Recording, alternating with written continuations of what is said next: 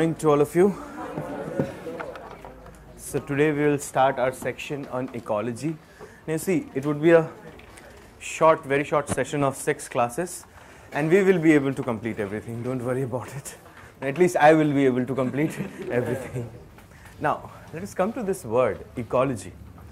Now this word was coined by a German biologist. His name Ernst Haeckel. He coined this term, ecology. And before that, ecology was uh, mostly studied under life sciences, especially say biology or botany.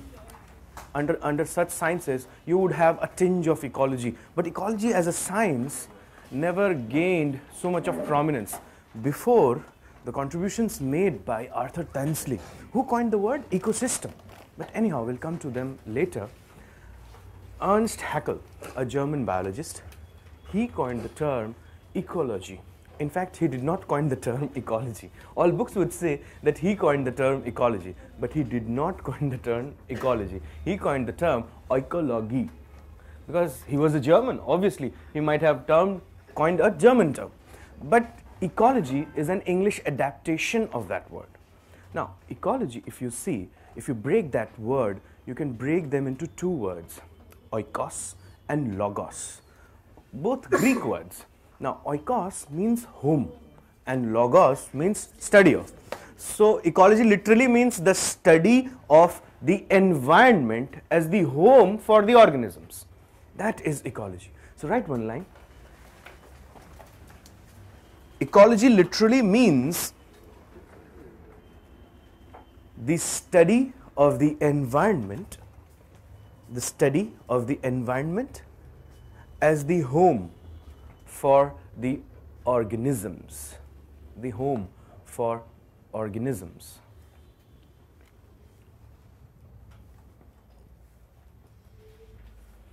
Clear? Now, you see one thing that uh, as far as uh, environment is concerned, it has been the crux of all studies in geography. Geography, in fact, very simply put, is nothing but man-environment relationships, either with the natural environment or with the physical environment or your cultural environment. It means the man-made environment. But look at this one point that when we say environment, it includes both natural landscape as well as cultural landscape. But when we say environment in ecology, we are limiting ourselves only to the natural or physical environment. Clear? So you write, ecology is concerned only with physical environment or the natural landscape. Physical environment or the natural landscape.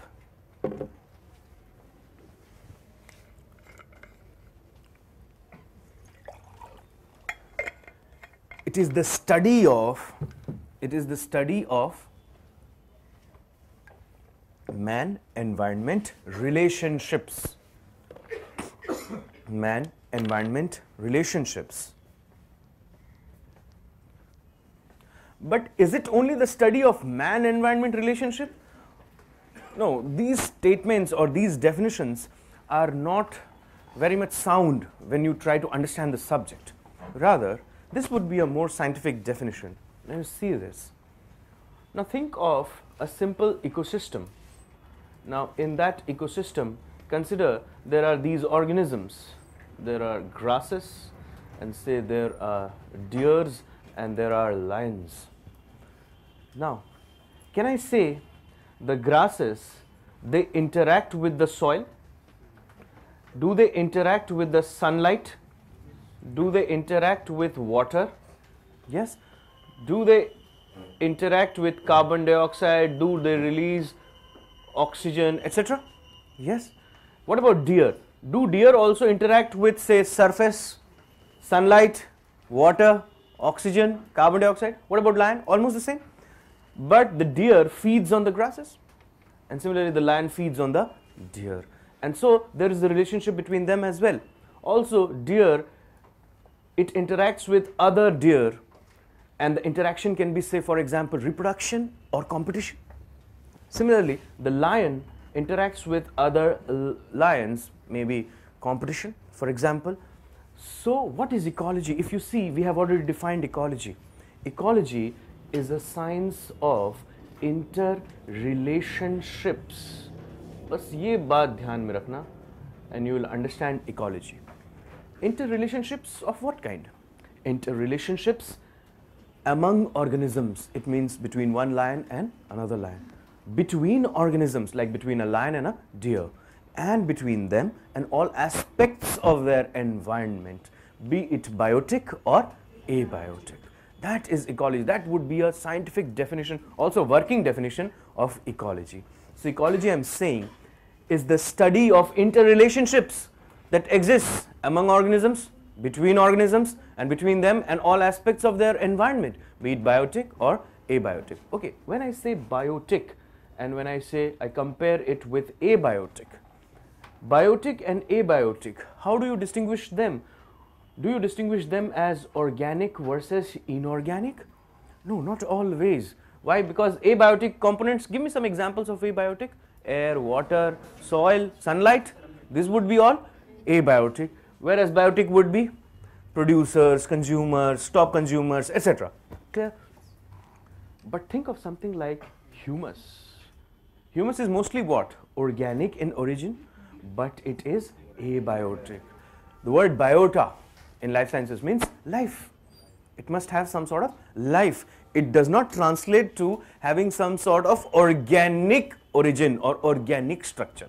So, biotic includes only those things that have life, whereas abiotic includes inorganic as well as dead organic. Clear? So, you write one line. Ecology is a science of interrelationships. Ecology is a science of interrelationships. बस बाकी definition तो लिखा ही हुआ है आपके पास So just write one more line. Humus is abiotic. Humus is abiotic. Put semicolon and write. Abiotic includes inorganic as well as dead organic. Abiotic includes inorganic as well as dead organic.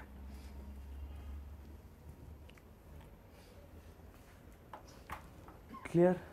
So you see, this is Ernst Haeckel, the German biologist, and he says ecology is the scientific study of the relationship and interactions among organisms, between organisms, and between them and all aspects of their environment.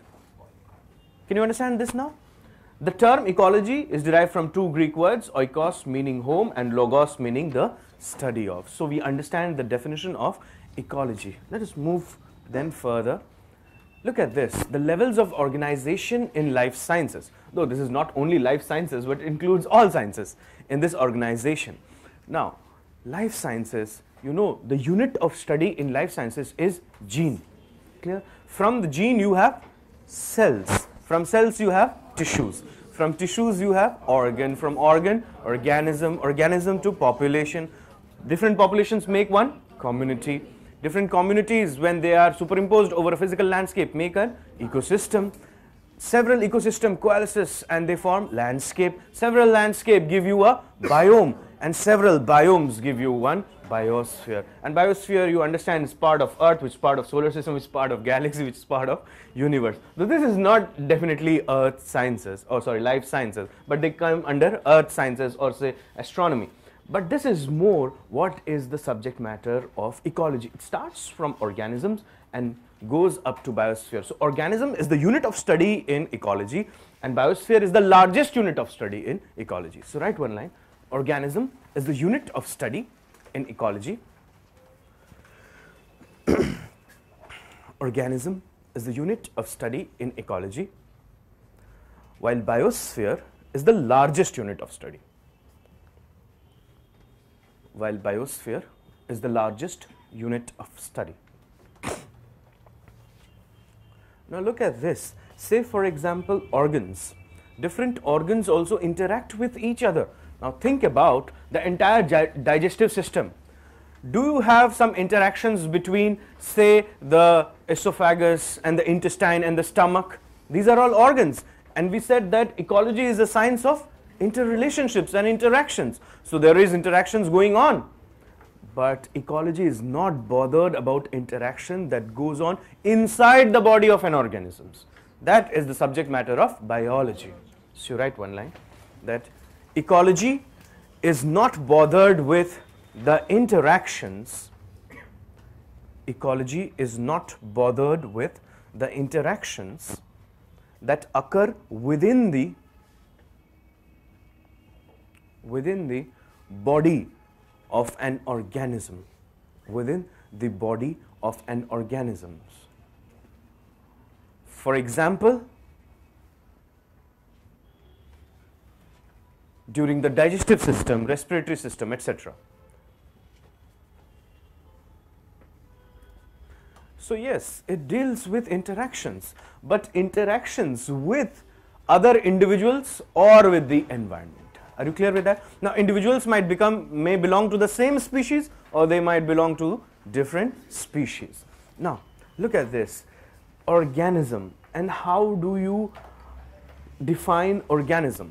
See, organism is anything that has three things and what are they? They are physiology, morphology and behavior. Now for example, if suppose I have a tennis ball and I throw it against a wall. Will it bounce back? Yes. That's a kind of behavior shown by the ball. The ball also has a morphology. Morphology means shape, but it, it does not qualify as an organism. Why? Because it does not have physiological processes. What are physiological processes? They are the biochemical processes that goes on within your body. Are you clear with that? Only when, if suppose the tennis ball has eyes and ears and it could walk or it could breathe at least, I would say that would qualify as a organism. Do you understand this? So an organism is something which has physiology, morphology and behavior. Did you get that? Okay. So you write one line. Organism is anything that has organism is anything that has morphology. Morphology means shape, morphology, physiology, physiology means biochemical processes, physiology and behavior. And if you see one thing, several times organisms make changes to them in order to survive. Changes with respect to morphology, behavior or physiology. Like say for example, think of hibernation. What kind of a change is it? Physiological change. It means you try to alter your metabolic activities Similarly, think of, have you heard about the porcupine and have you seen that it has, have you, yes? Now that's a what kind of change? It's a morphological change. Similarly, the snake you would see that in times when it is under distress, either due to uh, a competitor or when it sees a threat, it enlarges itself. And that's a morphological change. And when you make changes to your physiology, morphology or behavior, behavior say for example some organisms have adapted to nocturnal conditions, they hunt during the night.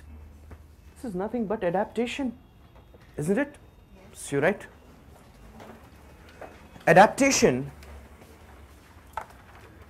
is the change or adjustment is the change or adjustment in physiology morphology or behavior. Physiology, morphology or behavior.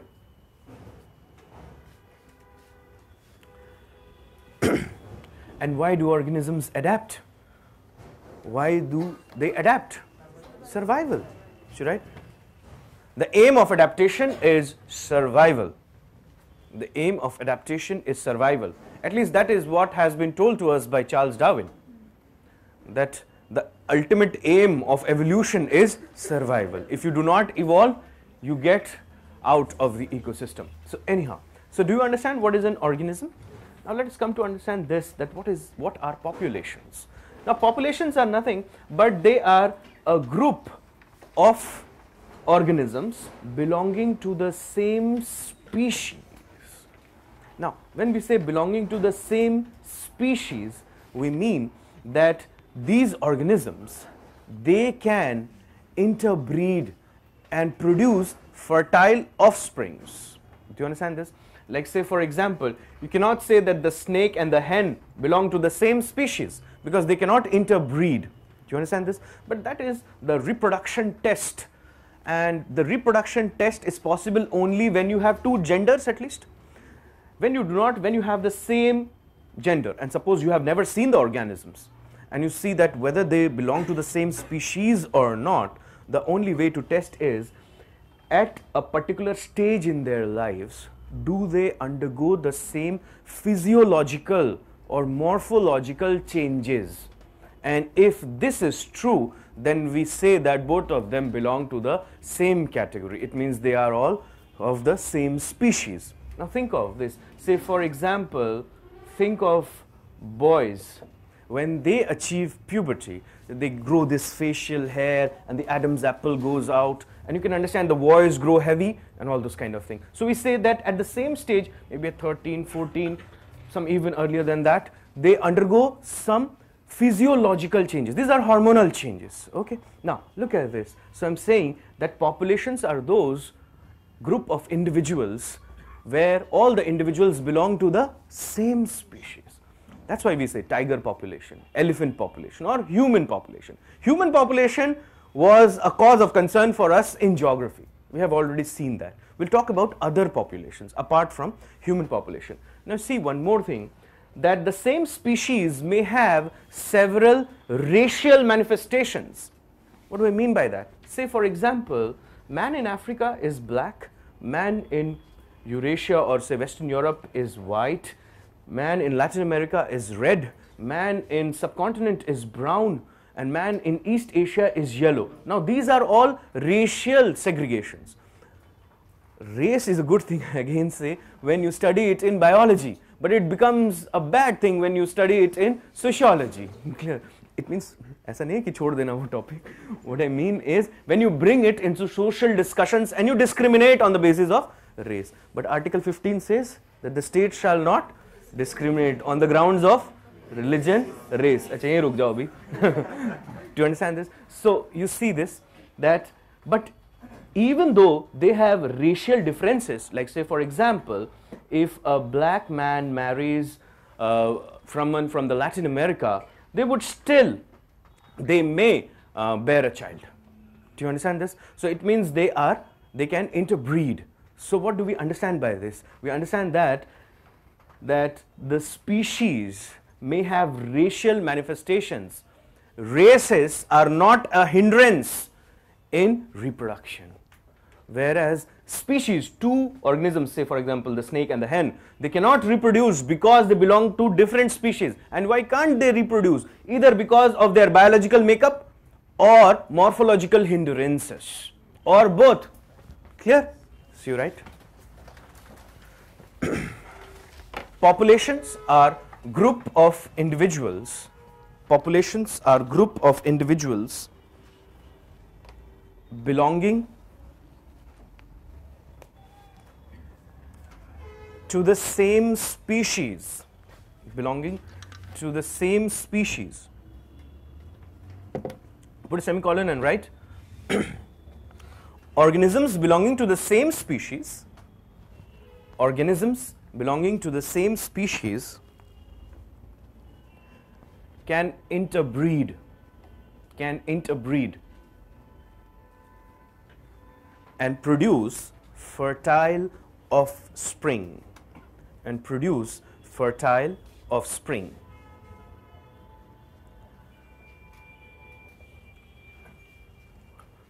A, a single species may have several, a single species may have several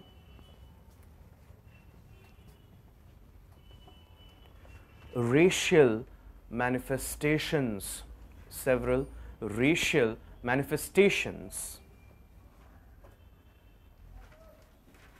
And race, you know, relates to ethnicity. Yes. So put a semicolon and write racial diversification is no hindrance. racial diversification is no hindrance in breeding. No hindrance in breeding. And you know that if the organisms they belong to the same gender, the test is the physiological test. Clear? Whether they undergo the same changes at more or less the same time in their lives. So, right? If two individuals belong to the same gender, if two individuals belong to the same gender,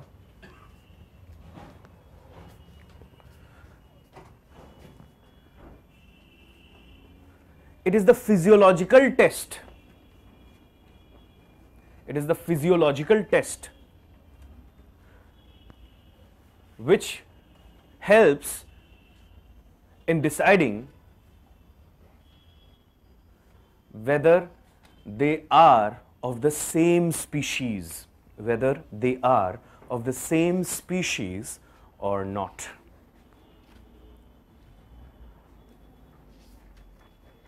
But you see that scientists, they were very uh, amazed when they saw that if they keep a lion and a tigress or a tiger and a lioness in some say isolation, they may breed. And have you heard about something like the liger, which is lion plus tiger? Though they belong to the different species, but at times, even if you belong to different species, you may still interbreed if you belong to the same family, like the cat family in this case. Clear? So keep this also in mind. Now look at this communities. Communities means that it's a group of populations belonging to different species. Like say for example in this example of our ecosystem where I said that there were grasses, deer and lion, the biological community or the biotic community or bio community is very simple. It is lion, deer and grasses, three organisms. Are you clear with that? So I'm saying that community, can I define it like this? It's a group of organisms belonging to different species. Yes? Now you see, when we say he belongs to or she belongs to my community, that is again when we are talking with respect to our cultural environment and our social interactions. But in life sciences, when you say community, you include organisms, all the biota that is present in an ecosystem. Clear? So you write.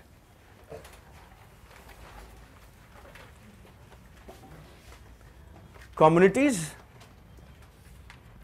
refer to group of populations.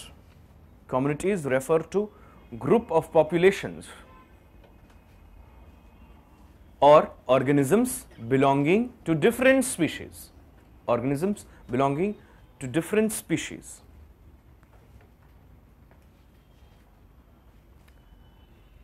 Can I say greater the number of organisms of different kind in a biological community, larger is the biodiversity. And greater is the biodiversity, greater are the chances of survival of that community. Though it may undergo some changes, maybe some new organisms may get added or some old organisms may get deleted, yet the community survives. Do you understand this? It means what do I mean? That if you have more diversity, you have more chances of survival. Like say for example, someone who is very good in all the subjects but has not read science or history, then that aspirant is not very diverse. It means the knowledge is not complex but very simple. हो सकता है एक ही subject पढ़ा है पूरे साल भर और बहुत अच्छे से आता है वो yet the chances of clearing the preliminary examinations are dimmed. Why? Because there is lack of diversity. So that is also true. An organism, an, an ecosystem or a biotic community which is more diverse has more chances of survival. So can I say diversity is a hedge against any eventuality? This was also said by Arthur Tansley that diversity is a kind of hedge. Hedge means a kind of buffer or a kind of protection against eventuality. It means suppose if there is some climatic extremes, an ecosystem which is mostly made out of reptiles, it would vanish in no time And that is what has happened when that meteoroid struck near Mexico and all the dinosaurs they perished. It didn't happen like this that as the meteoroid fell and it blasted and because of that sound the dinosaurs died. It happened like this as the meteoroid it struck near about Mexico you see 65 million years ago. So as it struck there it created a kind of a nuclear explosion. This generated a lot of radiation and it also created a lot of dust in the air. As dust was created, you can understand the temperatures were dropped. Why? Because of increased Rayleigh scattering. Do you remember that? And because of the radiation leak that happened, the dinosaurs could not make it. Now you see one thing that in astronomy, we measure distances in astronomical units or we measure distances in terms of light years. So say for example, if there is a planet which is 65 million light years, what does that mean? It means light would take at least that much time to reach that planet. And suppose that planet, that would be extremely far. But imagine that that planet has a strong telescope by which they are keeping an eye on us. Suppose but because the organisms feel that we live in harmony and here people are fighting on silly issues so we don't want to in, in, uh, establish a communication with them. Just suppose hypothetically whatever it is. And suppose they are seeing it from the telescope. So when they see towards the earth what do they see? They see dinosaurs. Because the light which traveled 65 million years ago reached them now. So they are seeing what? Dinosaurs. Do you understand this? So anyhow so you write one line. Greater the diversity of the community, greater the diversity of the community, greater are its chances of survival. Greater are its chances of survival. As diversity is a hedge, H E D G E, hedge against any eventuality, is a hedge against any eventuality. So you understand organisms, something which has morphology, physiology and and what about populations? Group of organisms of same species, different species. Ecosystem. Now, to understand this ecosystem, we must understand what is a system. A system is something which is separated from its environment by a boundary. Now, depending upon the nature of that boundary, whether it's porous or it's solid, the system can be open or a closed system. All systems have elements and there are links between these elements. And when there are links, there are flows. Like say for example, think of a transportation system. Each city might become a element whereas each link would be the roads, the railways etc and the number of trucks or the number of buses that are moving would be the flows. And what would be their boundary? Maybe the administrative boundary like trucks from India may not go to other countries but it may under some special permit conditions. So we would say that it is partially an open system. So look at this. Ecosystem is nothing but an ecological system. It means the components in ecosystems are of two kinds, abiotic and biotic. And these components are nothing but elements and there is interaction between these elements and there is interaction between them and other aspects of their environment. Also at times you can understand an ecosystem may interact with another ecosystem. Ecosystems several times there are additions to them because of new organisms getting added and sometimes there are deletions to them because of older organisms going extinct into the ecosystem. Do you understand this? Now, an ecosystem where the rate of extinction is faster than the rate of enrichment is an ecosystem which is fragile.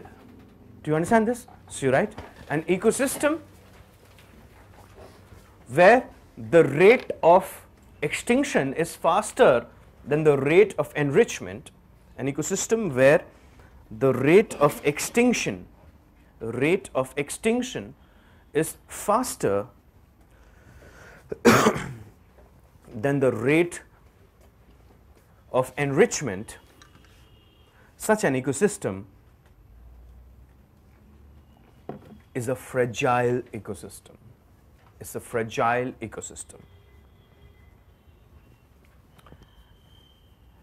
And can you say which ecosystem is fragile? Can you give an example of a fragile ecosystem?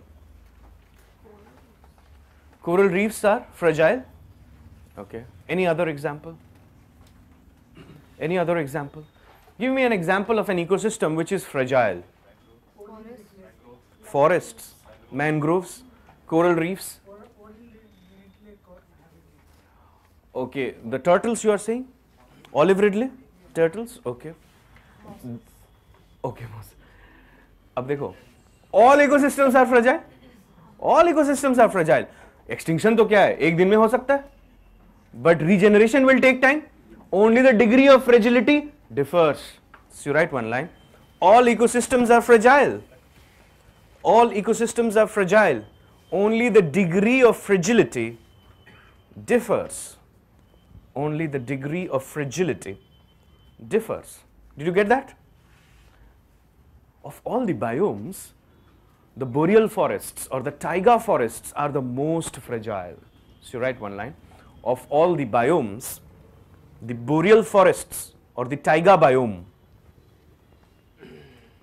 the boreal forests or the taiga biome, where are they found? Yes, in Siberia, near Siberia region are the most fragile. Clear?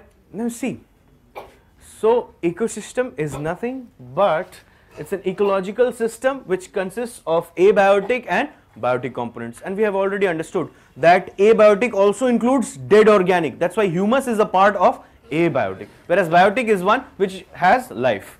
Now see one thing when a biological community is superimposed over a physical habitat it becomes an ecosystem isn't that so? Now you see ecosystems they are either natural ecosystems or man-made ecosystems. Like say for example an aquarium would be a man-made ecosystem. What about an agricultural field? A man-made ecosystem. But we are dealing only with natural ecosystems. Should write one line. Ecosystems can be either natural or man-made. Could be either natural or man-made. I have a question which kind of ecosystems would have a greater productivity? Natural ecosystems or man-made ecosystems? Which would have a greater productivity? I'm not saying production, I'm saying productivity. Are you sure about it? Yes, definitely. Man-made. Why not? Because you can control the input and thus you can control the output. So you write man-made ecosystems are generally more productive generally more productive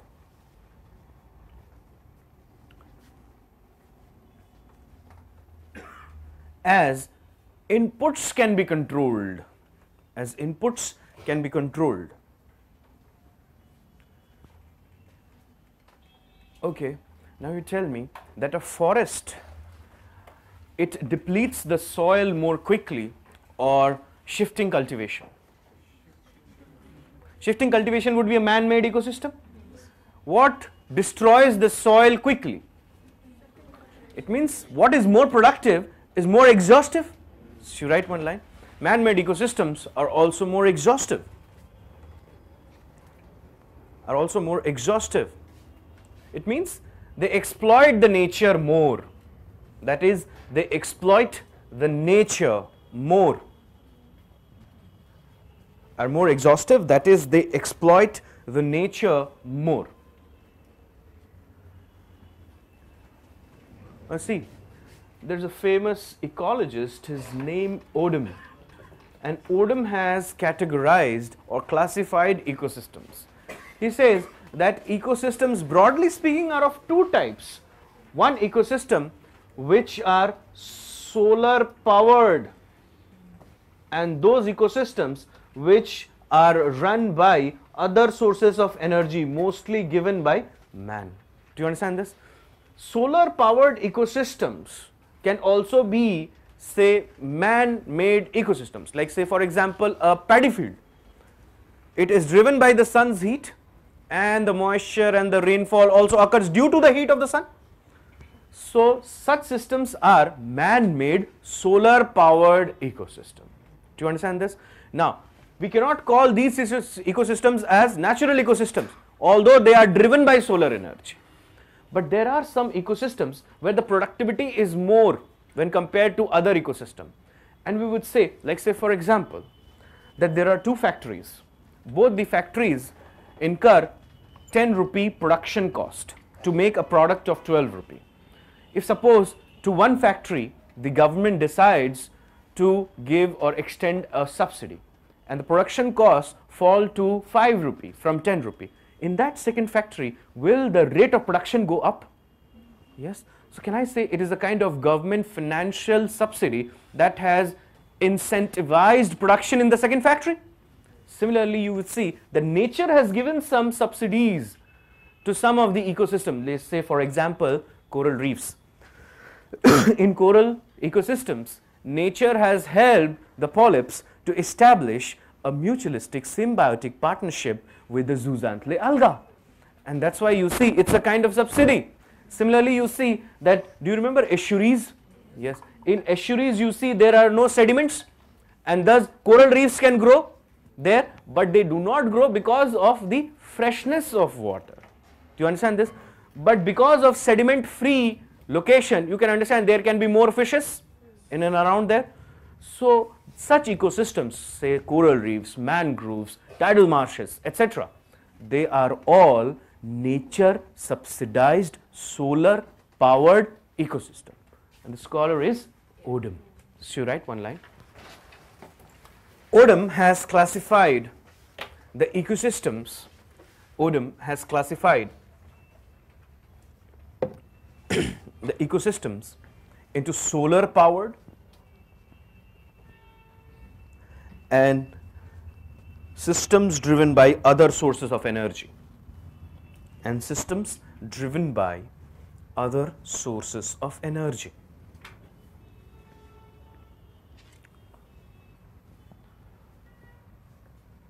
Now put a semicolon and write naturally subsidized solar powered. Naturally subsidized solar powered ecosystems are the most productive.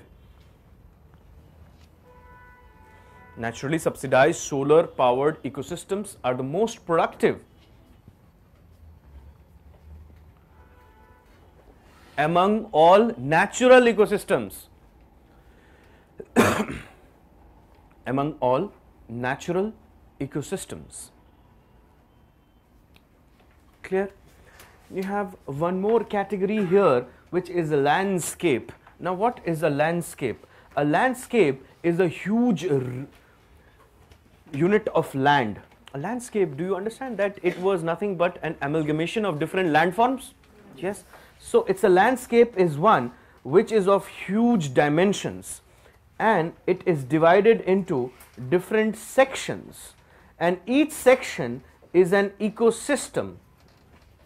Do you understand this? So, a landscape is a huge unit of land which is separated from other similar units by natural boundaries. अब ये बात ध्यान में रखने वाली है that they are not separated from other landscape by man-made boundaries but by natural boundaries say like mountains, rivers, forests, deserts etc. So you see that landscapes, I'm again repeating, a landscape is a huge piece of land which is separated from other similar landscapes by natural boundaries and the landscape itself is a mosaic of patches. Every patch is an ecosystem. An example would be the Himalayan landscape. Now you tell me the combination of organisms or the community that you will find in say Uttarakhand or Himachal Pradesh, will it be very similar to what you find in Sikkim and Arunachal Pradesh? Will it be similar? Like, do you have the Kashmiri stag there also in Arunachal Pradesh? No, because the climate is also changing as you're going from west to east, you're also coming towards the tropics and therefore the temperature is increasing. The moisture is also increasing. Remember the Bay of Bengal branch of Indian monsoons? So what I'm saying that the same landscape may have more than one ecosystems. Do you understand this? Greater the diversity of a landscape, more attractive it is for ecotourists. Yes? And that's why you see that everyone wants to explore the Himalayas. ऐसा कोई नहीं होता जो बोलता है कि छुट्टियों में चलो थार डेजर्ट चले। सबको लद्दाख जाना है। अब पैशन हो ना हो, ज़बरदस्ती जा रहे हैं। Right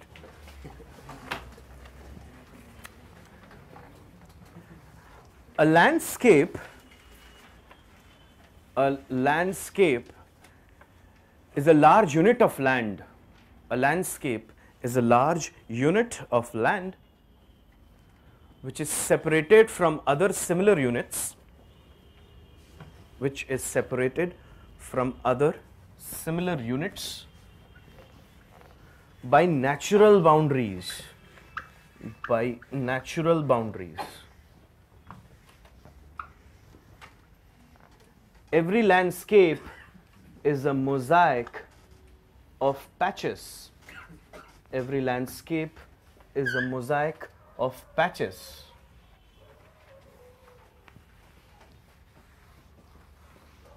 And every patch represents an ecosystem. Every patch represents an ecosystem. Example you can write Himalayan landscape. The Himalayan landscape. So let us understand this biome. Biomes are regional ecosystems. Biosphere is the global ecosystem. Landscape are local ecosystem, whereas biomes are regional ecosystem. Now, biomes can be or regional ecosystems can be of two types. They can be terrestrial regional ecosystem and aquatic regional ecosystem. When we use the term biome, we only indicate towards terrestrial regional ecosystems. Now there are 11 biomes and we will learn the biomes in detail when we go to them. But say for example, have you heard about the tundra biome? Have you heard about the equatorial rainforests? Have you heard about the west margin hot deserts, the mid latitude deserts? Now how do we name a biome? We name a biome either on the basis of the most dominant species like tropical evergreen rainforests clear or we name it on the basis of its climate say desert biome a desert is a place where the evaporation rates are much faster than the precipitation or we make a combination of both. Tropical evergreen and what kind of forest rainforests. Clear? See right? Biomes are terrestrial regional ecosystems. Are terrestrial regional ecosystems. so keep this in mind that regional aquatic ecosystem though they are biomes but we do not associate the term biome with them. And how many biomes? 11 biomes. So in bracket you can write 11 biomes. So we'll go into them detail, in detail in some time. But look at this biosphere. Biosphere इसका एक definition तो हम बचपन से पढ़ रहे हैं that it is the sphere where lithosphere hydrosphere and atmosphere overlaps it means wherever life is possible that becomes a part of biosphere biosphere is the global ecosystem. So you just write one line. Biosphere is the global ecosystem.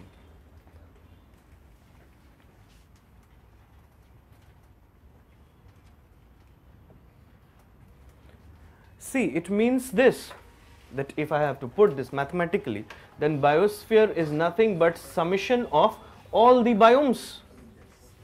1 to 11 and I should write 1 to n because I'm including aquatic as well.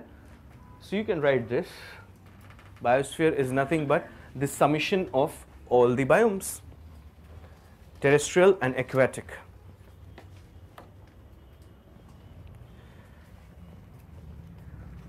So you tell me, do you understand organisms? You understand populations, community, ecosystem, landscape, biomes and biosphere. And we also understand organism is the smallest unit, whereas biosphere is the largest unit of inquiry in ecology. Let us move to the next thing, and that is habitat and ecological niche. Let's see, how do we define a habitat? What is a habitat? How, how do you define a habitat? Yes.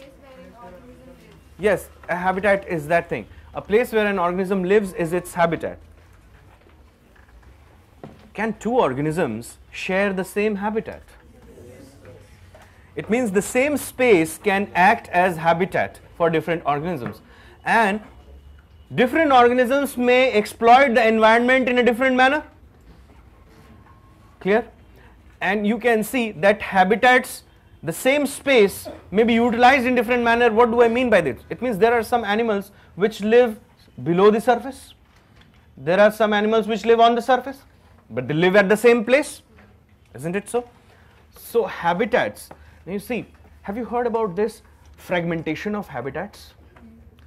Say for example, you construct a road through the jungles. You fragment the habitats. How many times have you seen this scene maybe in some of the television channels or in newspaper or elsewhere that when the people are crossing and you see a lioness with her cubs moving across the road or an elephant and an elephant group moving across the road because you have moved into their territory and this not only enhances the propensity of man animal conflict but also shrinks the ecosystem do you understand this? Habitat fragmentation is the single largest reason for the loss of biodiversity.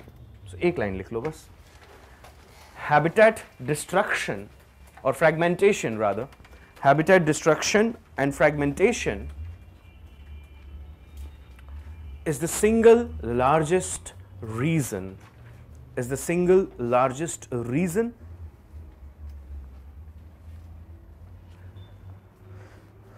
for the loss of biodiversity.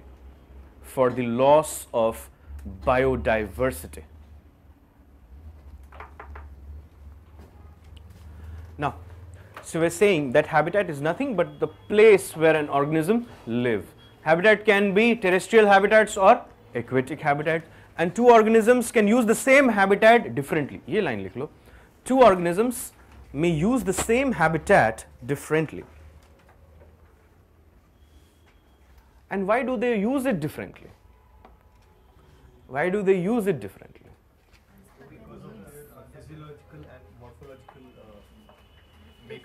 No, no. Why do they use it differently? Differential requirements.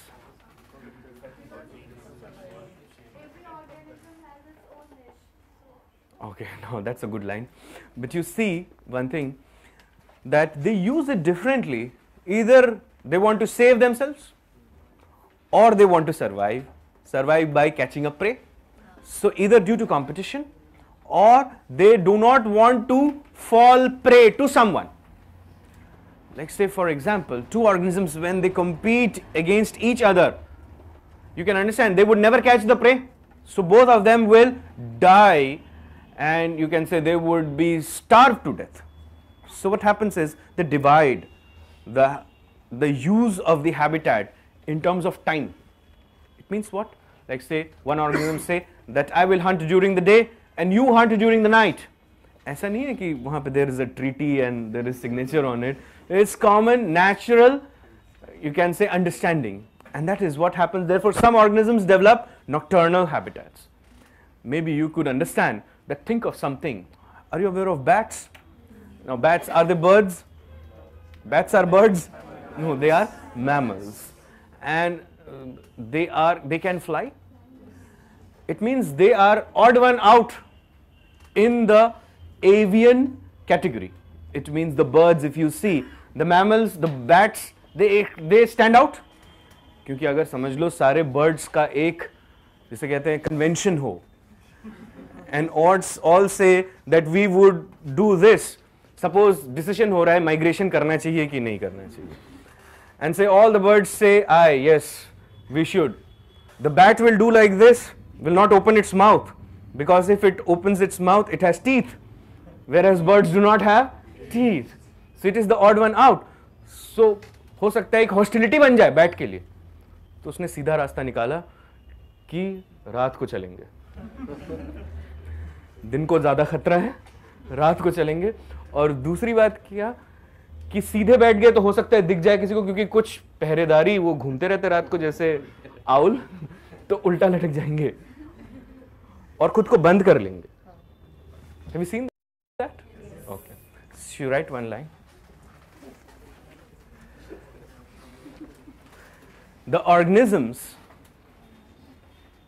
may use the the organisms may use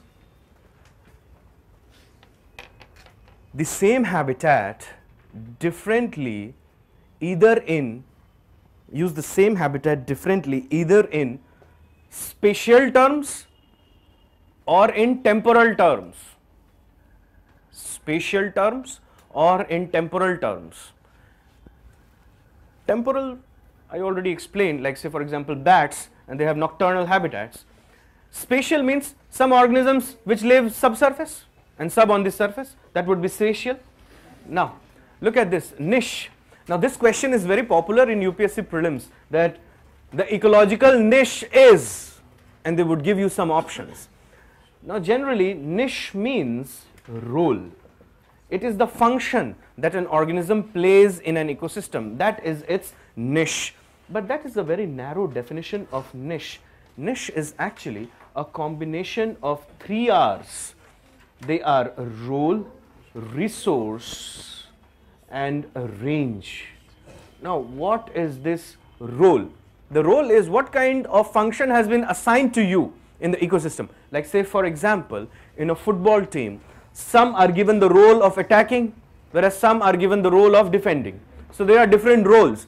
If the defender goes on charge you can understand that maybe they will lose the match. So what do we mean by this? Role is what part do you play in the ecosystem? If your part is the most important part then you are the keystone species. Do you understand this? And if you are removed from the ecosystem then definitely the ecosystem will collapse. Resource means resources can be biotic or abiotic both. So the amount of biotic and abiotic substance that you use since your birth to the final goodbye is your resource base. Do you understand this? It means the total amount of biotic and abiotic things used by an organism during its lifetime are its resources.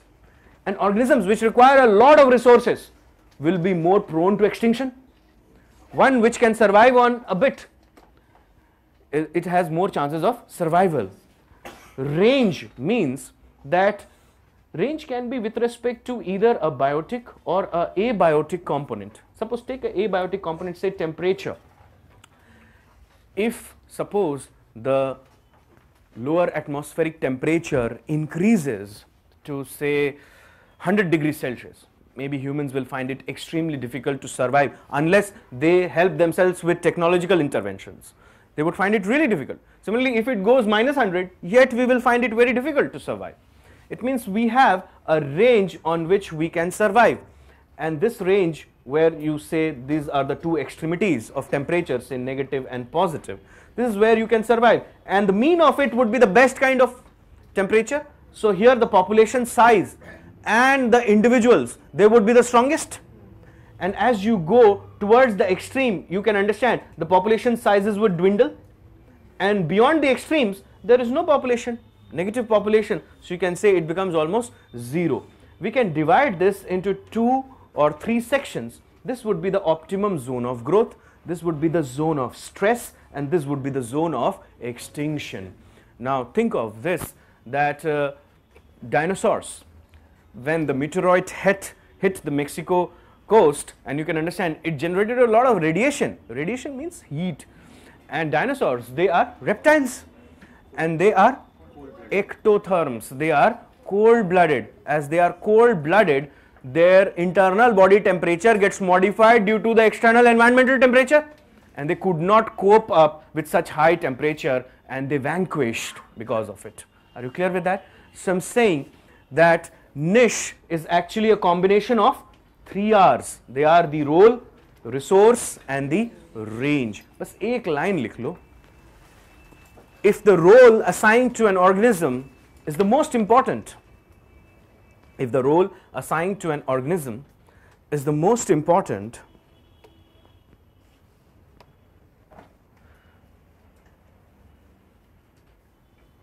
in the ecosystem, is the most important in the ecosystem, that organism becomes a keystone species become a keystone species.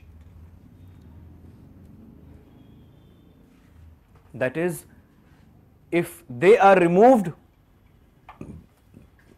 if they are removed the entire ecosystem collapses the entire ecosystem collapses now look at this let's go back to our simple ecosystem which consisted of uh, grasses deer and lion and you tell me which is the keystone species are the grasses keystone species if we remove the grasses the ecosystem collapse if we remove the deer शेर थोड़ी ना घास खाते हैं the ecosystem will collapse at least for the lion even the grasses will die in the long term. Why? Why? Because there would be exorbitant growth in their population. They would exhaust the soil and they would soon perish. Because soil enrichment it takes time sometimes thousands of years.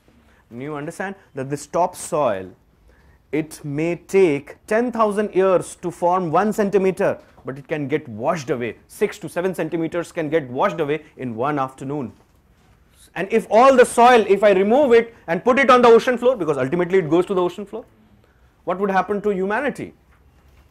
It will extinct in no time. And that's why we say in environment everything is linked to everything else.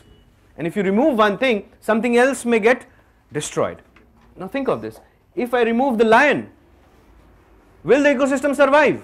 Maybe for some time but in the long run it will still because deer population will keep on growing and they will exhaust the grasses so which organism is the keystone species तो बात यह है कि की stone species this looks very good on paper when when you go in the real world you do not know that whether this organism is a keystone species or that organism is a keystone species so when you have all the advertisements which says कि ढूंढ ढूंढ के मारे और शाम के वक्त ही सारे मच्छर आते हैं तो सारे मच्छरों का नामो निशान मिटा दो। Maybe you are removing a keystone species who knows you understand this so write one line मच्छरों को नहीं, खुद को मिटा रहे हो। So write one line keystone species are really hard to distinguish are hard to distinguish बस इतना ही लिखना है now look at this so I'm saying yes yes human being is a keystone species yes definitely at least for some lesser organisms which are less mobile and find themselves in uh, ecosystems full of predators human beings have made them pets i'm talking about dogs and cats and you see that ki, we do not understand at times that we think that we are doing good to the organism, but maybe we are doing bad to the organism by our love and affection. What do I mean by that? Say, for example, suppose if you make the puppy eat bhindi, that's a crime. Isn't that so? It's like making you eat grass. नहीं नहीं बहुत अच्छा घास पकाया आज तो खाना तो पड़ेगा suppose it's a Sunday and the puppy is waiting for something else and you give low palak paneer the puppy will think एक तो पनीर खिला रहे थे रोज आज पालक भी डाल दिया उसमें so at times you see that you distort the uh, physiology of several organisms out of love and affection now look at this this is what i'm talking about so you understand this habitat Is the physical environment in which an organism lives it's the address of an organism mat likhna many habitats make up the environment a single habitat may be common for more than one organism which have similar requirements. For example, a single aquatic habitat may support a fish, frog, crab, phytoplankton and many others. The various species sharing a habitat thus have the same address, example forest, river, etc. Now you can see this is ecological niche. It is a combination of resource, range and rules. So niche is 3 R's. But if suppose a question is asked, you can be almost relaxed with respect to it that the question would be more with respect to rule, also known as function. Now, you see this. Can you see this is the area of greatest abundance? Because this is the range of optimum survival or optimum environmental conditions. And you can see that this is the zone of stress and this is where the species are absent. Now you tell me that if an organism has a larger range, then this curve would be more like this. If it has a lesser range, it would be more like this.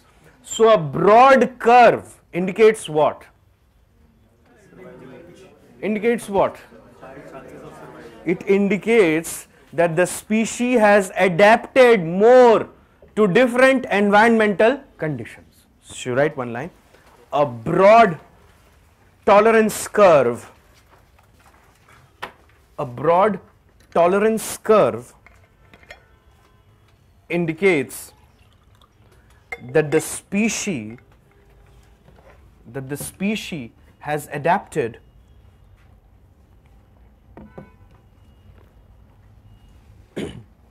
to varying has adapted to varying climatic ऐसे कर लो जियो climatic कर लो जियो climatic conditions. Geoclimatic conditions. And thus it has better chances of survival. And thus it has better chances of survival. And thus it has better chances of survival. Now, look at this. That if you see, for example, once the human population in Africa was white, but it turned black because it wanted to adjust with the environment. That is why it there was change, and this change, can I say, is more of a racial change. It means, have you seen that? Are you aware of the rattlesnake? Have you heard about the rattlesnake? And it has a rattling sound at the fag end of its tail by which you can understand it warns its skin and also attracts the mate. Now you see, all snakes, do they have rattles? No.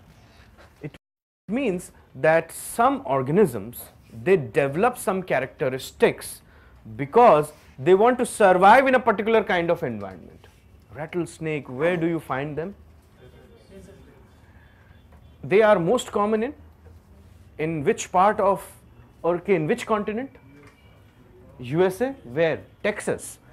And the Texas rattlesnake is one of the most dangerous snakes in the entire world.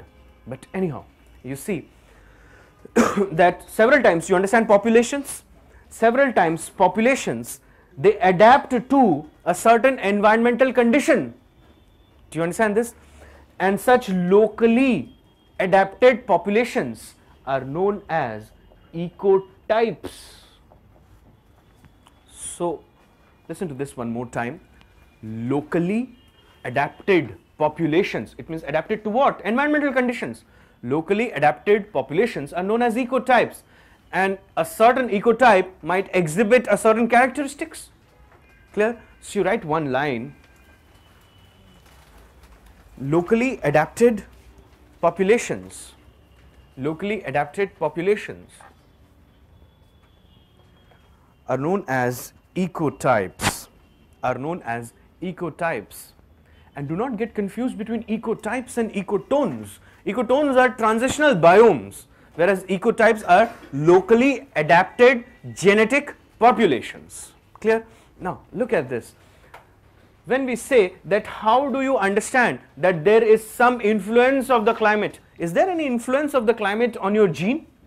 Yes, there is.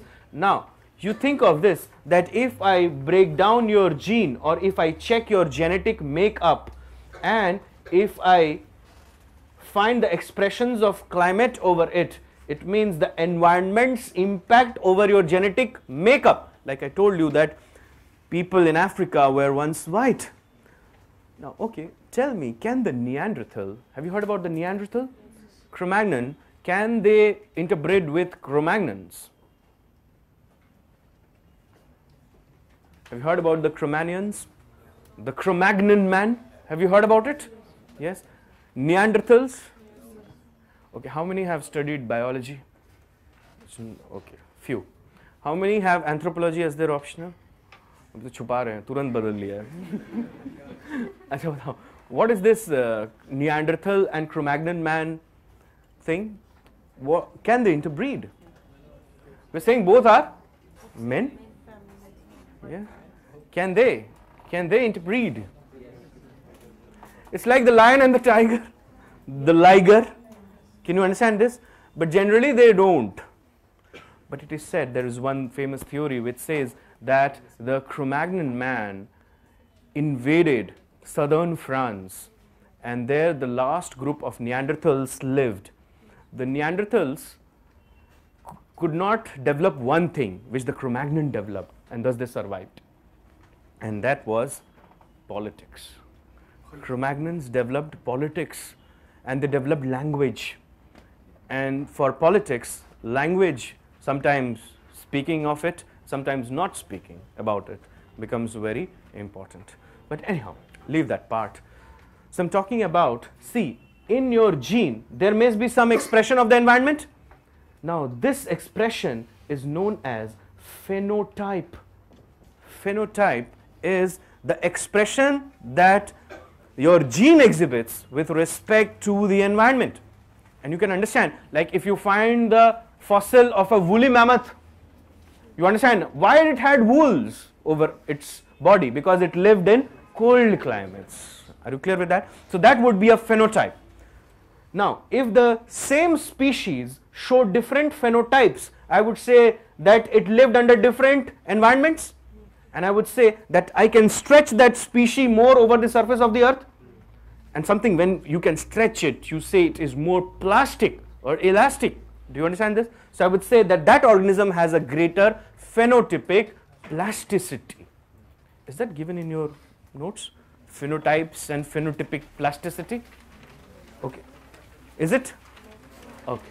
Now look at this. Look at this. This is what is phenotype. I'm saying is the expression of the environment over the genes. Clear? So you write one line this in evolutionary ecology. I'm dictating it for you. You can write if you want. In evolutionary ecology, an ecotype, an ecotype, sometimes called ecospecies, sometimes called ecospecies, describe a genetically distinct a genetically distinct geographic variety. Put a semicolon and write just one line. Genetically adapted local populations are ecotypes. Genetically adapted local populations are ecotypes. And you see this that phenotype is nothing but the expression Phenotypic plasticity refers to some of the changes in an organism's behavior, morphology and physiology in response to a unique environment. Phenotypic plasticity is the ability of one genotype to produce more than one phenotype when exposed to different environments. One organism which has a greater phenotypic plasticity has greater chances of survival. Write one line. An organism which has greater phenotypic plasticity. An organism which has greater phenotypic plasticity has greater chances has greater chances of survival greater chances of survival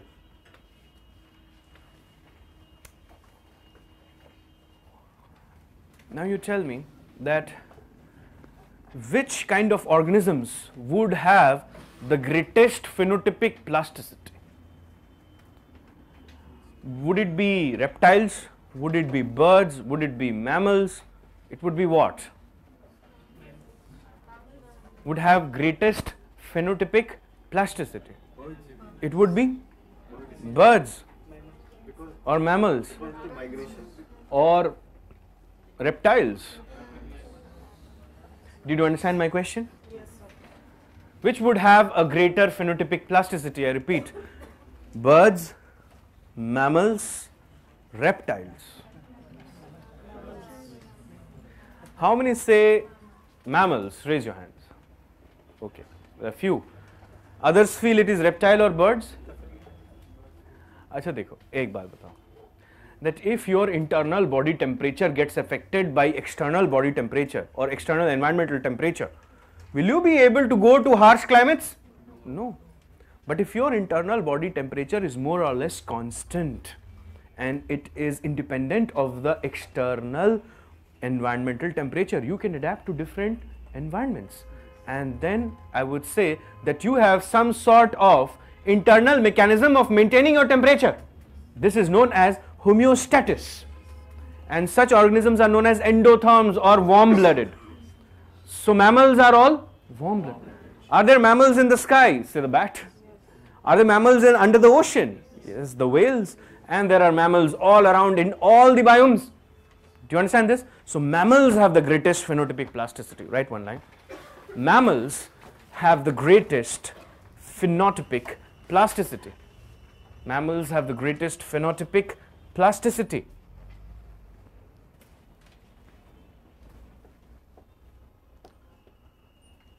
Now, think of this. Uh, sometimes you would see that the same habitat would create different niches, means would give different roles to different organisms. Also, see one thing that if there are more organisms, the niche is broadened or narrowed. If there are more organisms, if the ecosystem is more complex or the biological community more diverse, then will there be narrow niches or broad niches? अच्छा ये बात बताओ कि do you understand niche and think in terms of role? Broad role means like how Leonardo da Vinci was. He was a polymath, remember? And Eratosthenes, he was also a polymath. Or you can think of uh, artists in the West, say for example, some singers in the West, they are also musicians, they're also songwriters, and all those kind of things. But here we have more specialists than generalists. So if the number of people are less in a home, one person perform more than one task? मतलब market भी आपको ही जाना है और fridge में पानी में बोतल भर ये भी आपको ही रखना है ये सबसे बड़ा इशू है घर पे तो कि कौन रखेगा? So but if you suppose you are the eldest sibling and if suppose कि एल्डेस्ट सिबलिंग ये बोल दे कि भाई को या बहन को छोटे कि पानी अब तुम भरोगे। बस वो तो फिर जैसे बादशाह अपने फरमान निकालते थे, वैसा हो जाता है। और फिर वही करता है सब कुछ provided that day comes when the younger one comes to know some important राज about the elder one तो देखते कि बड़े भैया आज पानी भर रहे हैं so look at this so i'm saying that think about the ecosystem which is more complex if it has more complex, then the niches would be narrow. And can I say thus that as you move from the poles towards the equator, the niches become generally speaking more and more narrow. As you move from the west towards the east, the niches become generally more and more narrow, at least in the tropical region. And from east to west in the temperate region. Why? Because you have westerly winds, remember? So, remember this that the tropical evergreen rainforests have the narrowest of niches. And when you have narrow niches, you are specialists. और जब आप specialist बन जाओगे तभी तो आप survive करोगे क्योंकि समझ लो कि एक सोसाइटी में सिर्फ़ एक ही इंसान है जिसको कंप्यूटर चलाना आता है मतलब वो स्पेशलिस्ट है और ऐसा और कोई नहीं है so everyone would be dependent on that person but if suppose there are many people who can run the computers, then one who is running it at the costliest price will be thrown away. Do you understand this? So, what do we mean by that? It means the equatorial biome have more specialists than any other. And if there are more specialists, then all of them are keystone species. So, there are generally more keystone species in lower latitudes than in upper latitudes. Clear? So, you write one line. Because of the uh, because of the density, the number would rise? Yes, yes. Now, can I say altitude mimics latitude? So, keystone species, the numerical strength of them will grow in lower altitudes and will dwindle in upper altitudes. So, you write one line. As the ecosystem or biological community, as the ecosystem or biological community becomes more complex, as the ecosystem or biological community becomes more complex, the niches become more narrower. The niches become more narrower.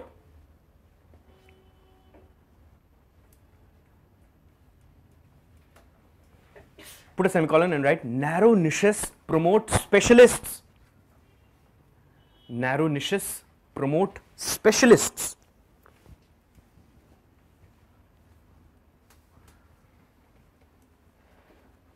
And you understand that specialists have a direct relationship with survival because if you remove a specialist from an ecosystem, then the ecosystem will collapse. So the specialist is a keystone species. So you write in bracket all specialists are keystone species. All specialists are keystone species.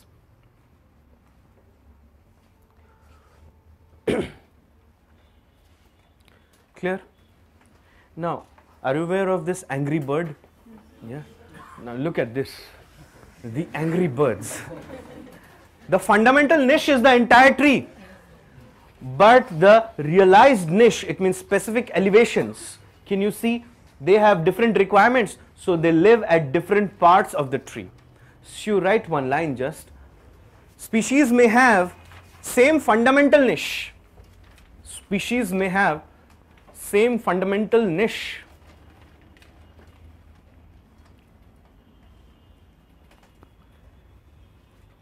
And yet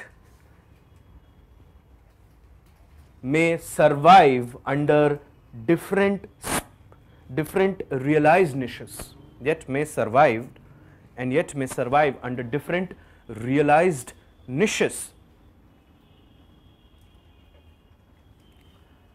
Can you give me an example where you will find such kind of thing apart from the tree?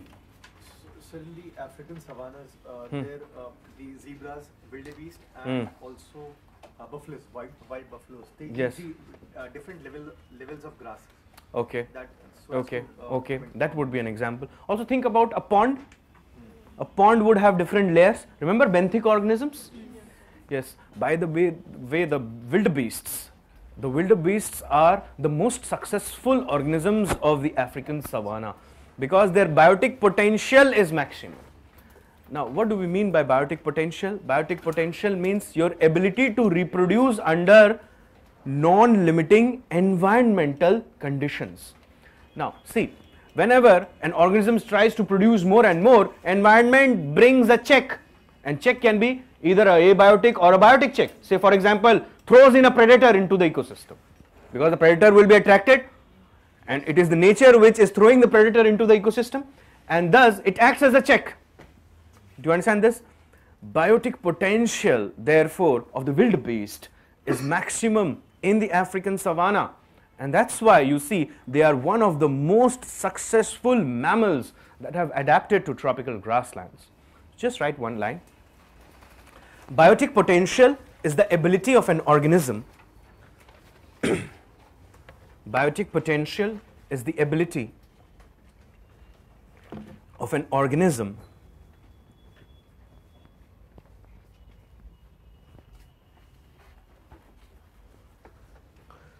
to reproduce under non-limiting environmental conditions. Under non-limiting environmental conditions.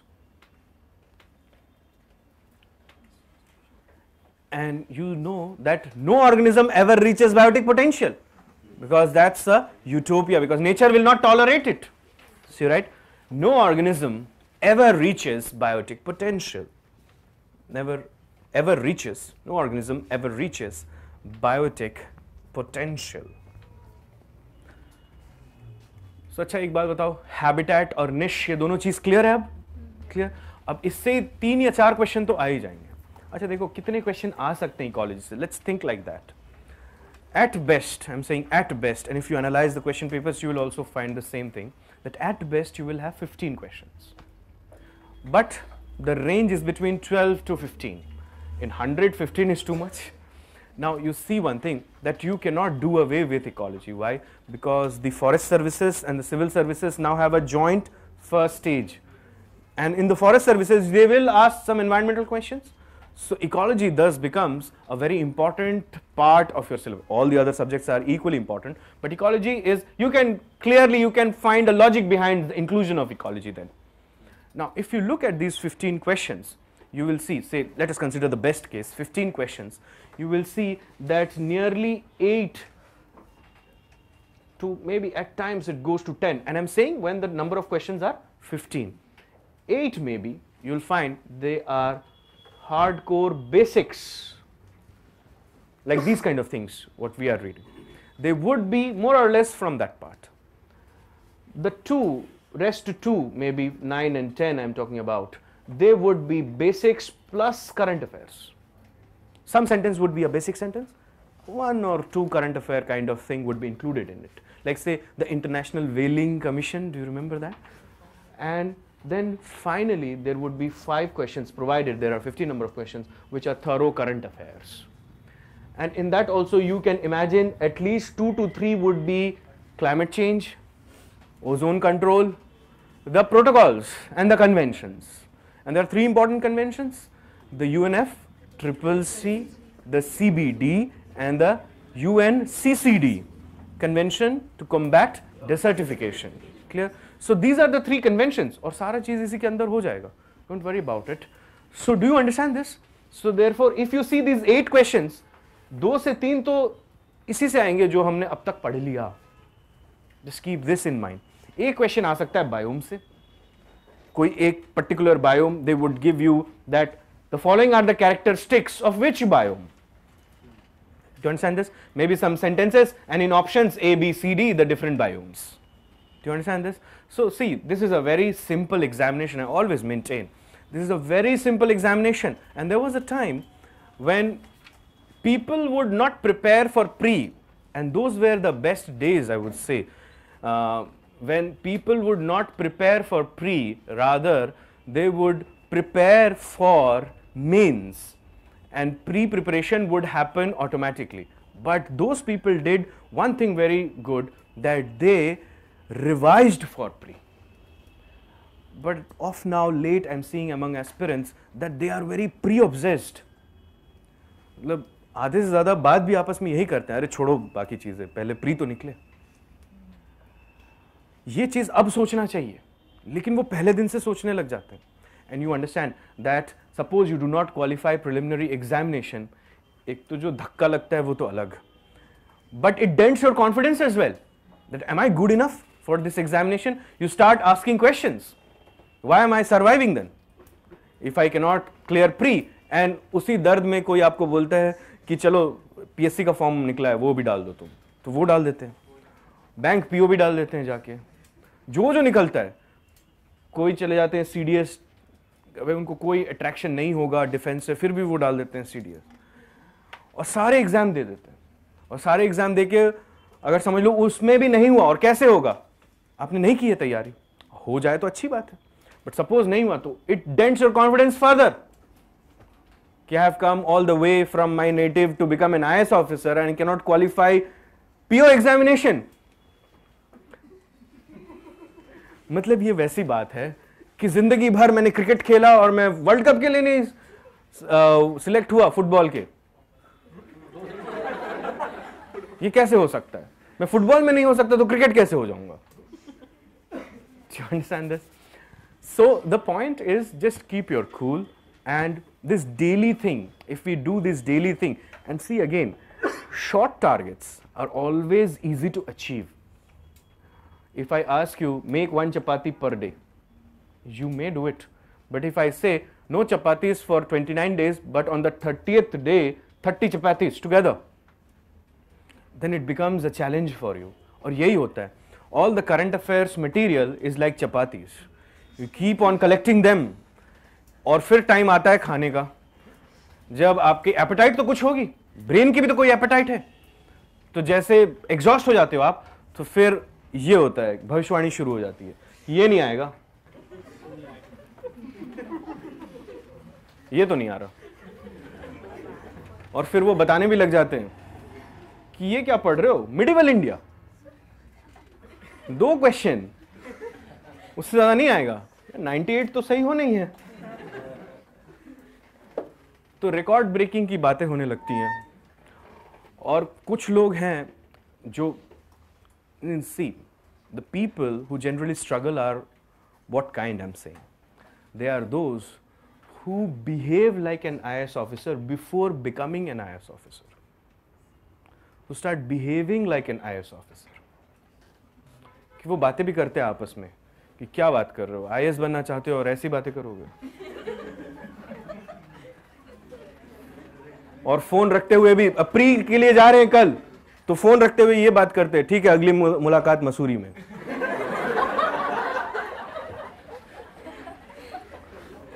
और पता चलता है वो, वो centre में ही मिल गए। अरे तुम्हारा भी यही है? हमने तो मसूरी सोचा था। और फिर बोलते हैं नहीं अब अगली मुलाकात प्री के बाद बोलते हैं, लगता है राजेंद्र नगर में ही फिर से होगी। क्योंकि पढ़े तो दोनों नहीं थे। We both dreamt see if you just dream dreams are good hope is good it's a good thing to have but if you dream and do not work towards your dream it means you do not live your dream You will not succeed. Don't focus on the day. Don't think about D Day. We are always obsessed with it. What will happen on 31st of May? It should be a very normal day in your life. It should not be an extraordinary day because under extraordinary circumstances anxiety creep in and when you are anxious you do not perform your best why because nervousness grows or as they say very popularly nervous जाते हैं so you, there is a lot of nervousness that creeps in do you understand this so you see one thing देखो एक तो शुरुआत होती है कि हम कैसे जाएँगे एग्ज़ाम देने और एग्ज़ाम देने भी जाओ तो that would be a summer season Now, it doesn't mean that you pick your best shirt because it's your best shirt और स्वेटर भी पहन लिया क्योंकि sweater was very lucky during the mains last mains तो इस बार भी पहन लिया वो पहनो जिसमें आप कंफर्टेबल हो. Maybe a T shirt I am saying those who are comfortable with that kind of attire maybe a T shirt और अ लोअर और something like that which gives you more comfort it's a summer's day suppose the electricity run out in the hall और कुछ तो हैं जो ऐसी crease वाले पहनते हैं कि वो ऐसे जाते हैं, फिर वो हिल नहीं पाते। और क्रीस इतनी तगड़ी कि उनके खुद का हाथ कट जाए। नई शर्ट है ना यहां यहां तक बटन बटन लगा के चले जाते हैं गर्मियों में so these are simple things that make you relaxed and as you are more relaxed you will qualify. You will. Don't worry about it. Okay. Now let us see this. Population, you already understand population. You see, population can get modified either due to natality, mortality, or migration. We have also seen this in our human geography. So this is more or less similar to this. And you see natality is natality is a more comprehensive term which includes hatching, germination, birth, etc. Clear?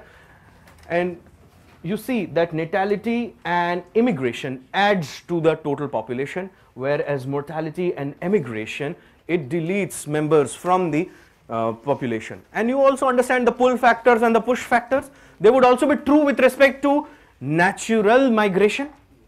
Human migration and natural migration. Now look at this. If we classify the population and if we try to understand them we can classify them in like do you remember we said children working population and the elderly?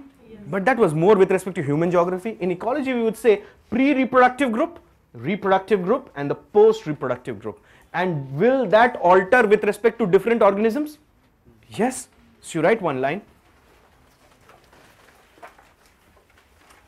the reproductive age group is not constant for all organisms. The reproductive age group is not constant for all organisms. Now you see, how does populations grow? Either they may have a J curve or they may have an S curve. Now, do you remember biotic potential? The maximum reproductive capacity of an organism under optimum environmental conditions. It means non-limiting environmental conditions. That is biotic potential. Now think of this. Suppose this organism with the passage of time, the rate of population growth is very slow, but suddenly something occurs in the ecosystem which gives it a positive impetus and its population grows exponentially. There is exponential growth it grows exponentially.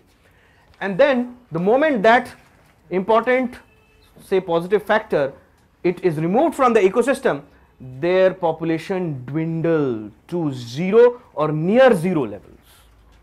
That is the j curve. And think of some insects. They are of small in number but suddenly after the rainy season their growth spurs up. And the moment the winters are about to begin the air turns dry and they fall. Because insects love what? They want hot and humid conditions. And in india tropical countries you can understand rainy season would be hot and humid. Clear? Southwest monsoons are hot and humid. Think of uh, months like july august. They are very humid. Now look at this. This is the j curve which is very common in some of the insects.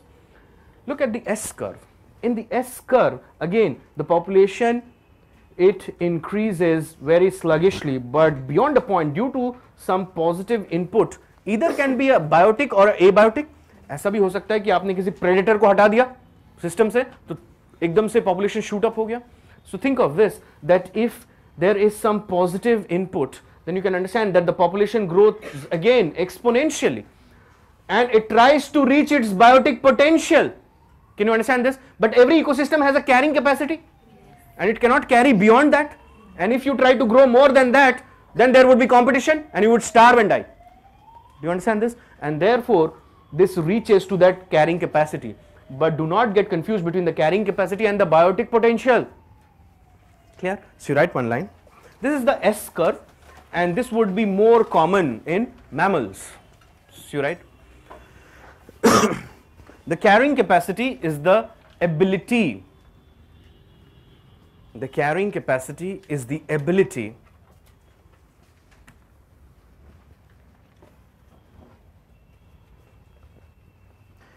is the maximum ability kar lo is the maximum ability of an ecosystem to support ecosystem to support a community sustainably support a community sustainably carrying capacity is less or more than biotic potential. Carrying capacity biotic potential can be infinite. Yes, yes. so you write one line. Carrying capacities are generally lesser than biotic potentials. Are generally lesser than biotic potential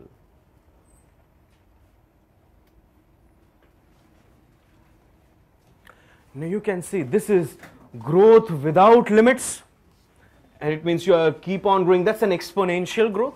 Whereas you see there you have environmental resistance, which gives you logistic growth. It means logistic means now you have to grow by keeping in mind the resources available.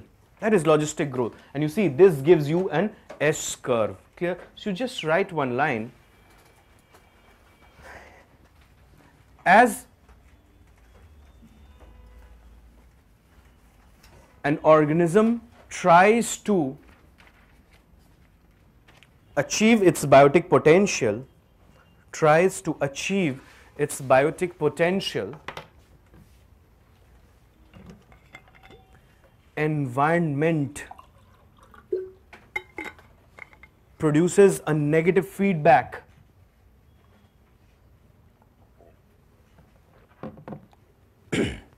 negative feedback or resistance. Negative feedback or resistance. so, do you understand the J curve and the S curve? The S curve is more common in mammals. So, write one line. The S curve is more common in mammals. The S curve is more common in mammals, while the J curve, while the J curve is common in insects, is common in insects. And also, have you seen this? That just before the occurrence of rains, the ants they go underground because they cannot survive such enormous heat, especially in tropical climates. Ants, they are endotherms or ectotherms. It means warm blooded or cold blooded. Cold blooded. So that's why they get affected by the external environmental temperature. But you see that as they go subsurface, they have also made an adaptational change. It means they develop wings. And during the rains they fly. You have ant flies? And a number of them they grow. But the moment there is winter you see that all of them they perish. And you can see groups of dead such ant flies with time. Clear? Now look at this ecosystem. This is sir arthur george Tansley or ag Tansley an english botan uh, botanist and a pioneer in the science of ecology he coined the term ecosystem now the term ecosystem was coined by British ecologist A.G. Tansley in 1935 from eco meaning environment and system meaning a complex of coordinated units. I have already explained you what is a system. Clear? See R.N. Lindeman. Now this is not very much common in GS but just for the sake of his definition, it's a very good definition, says the term ecosystem applies to any system composed of physical, chemical, biological process within a space-time unit of any magnitude. That's the best definition you can think of an ecosystem. Clear? So you write one line. Ecosystem applies to any ecosystem applies to any system composed of any system composed of physical chemical biological processes physical, chemical, biological processes within a space time, within a space time of any magnitude, within a space time of any magnitude.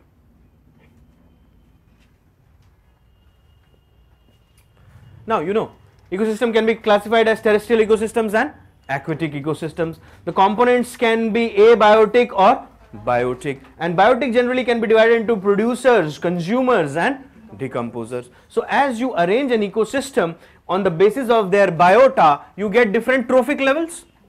Trophic levels means the amount of food or energy available at one level. Now can you understand that if the producers have a greater productivity the ecosystem would have larger number of trophic levels. Now, as you go upwards, the trophic levels, the amount of energy that is transferred gets reduced. Do you understand this? So, these are very basic things. Now, look at this the ecosystem services. The ecosystem services, is that given in your notes? Yes, yes, okay. Now, if you look at the ecosystem services, what kind of services the ecosystem does for you? Nutrient cycling like carbon, nitrogen, phosphorus, etc. Evolution, soil formation, spatial structure, primary production. all of that are services given by the ecosystem. Some of them are provisioning services. It means the ecosystem provides you something like food, fresh water, fuel, wood, etc. It regulates some things like say for example climate, food, disease and water regulation, water purification, pollination. By pollination the organisms they determine how much would be the total production by the producers. Yes? And then you have cultural services say for example religious or spiritual or even recreational. Now look at this that ecosystems all ecosystems give you services. It not only gives you gives you goods but also services. Services say for example clean or purification of water. Now think of this. If suppose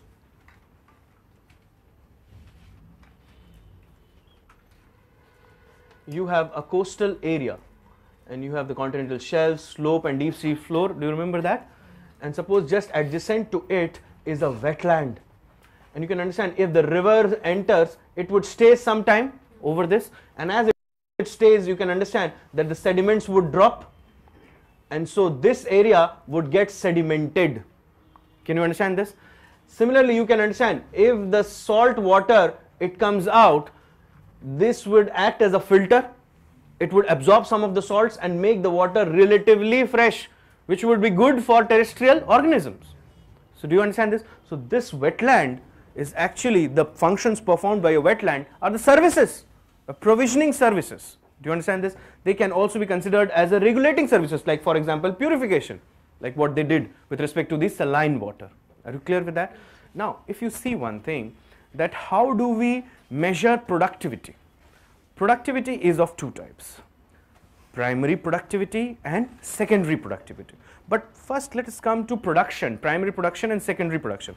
Primary production means as the plants they use sunlight and produce their own food but see some organisms can produce food without sunlight as well.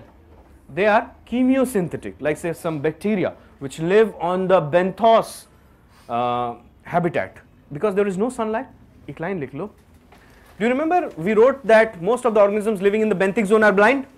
So write one more. The organisms that can produce food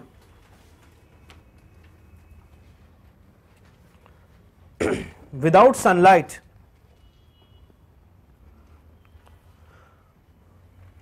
are chemiosynthetic organism are chemiosynthetic organisms chemiosynthetic. Chemiosynthetic. Like photosynthetic?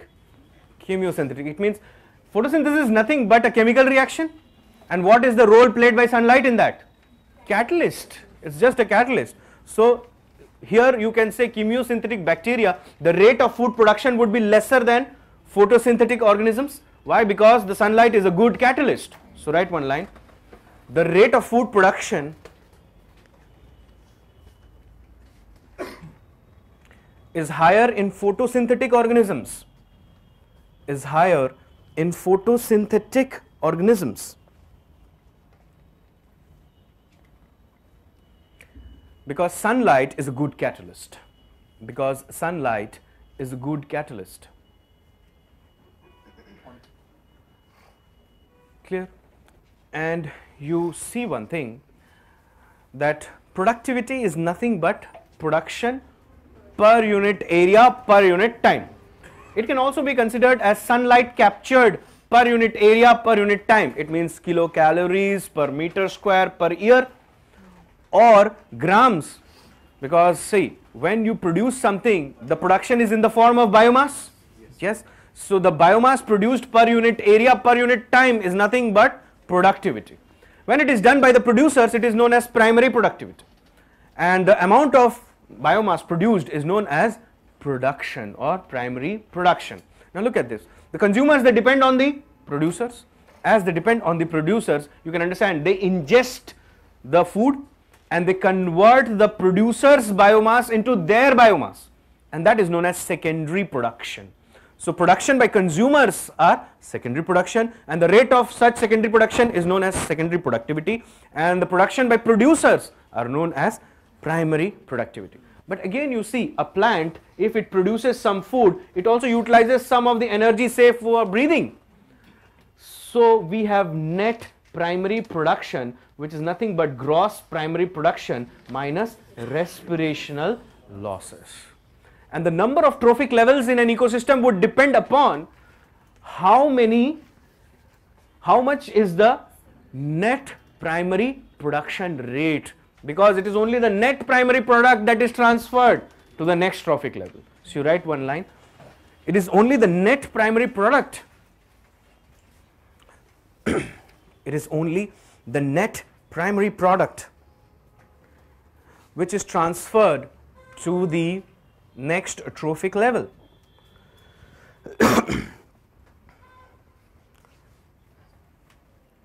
the number of trophic levels depend upon the number of trophic levels depend upon the primary production and productivity the primary production and productivity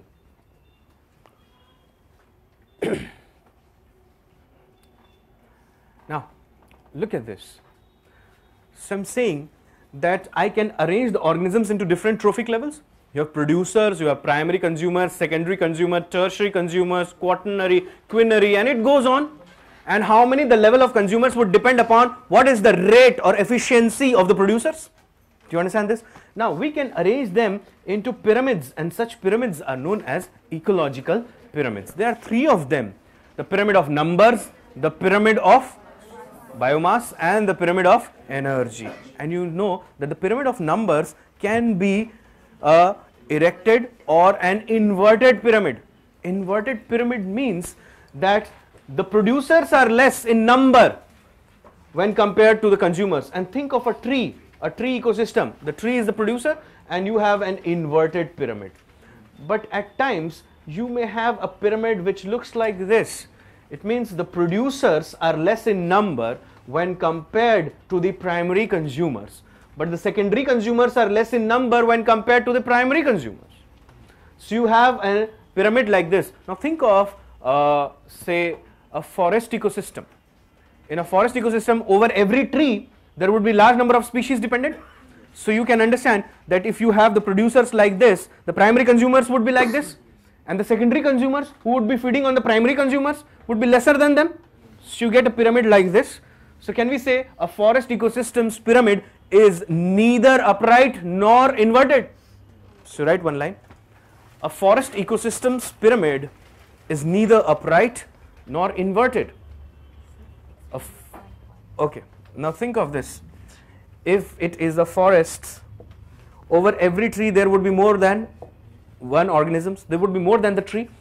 So if you have the producers, this many, the primary consumers would be more than that. But those organisms which feed on the primary consumers, they would be lesser in number when compared to them. So it would be something like this. So you get the pyramid like this.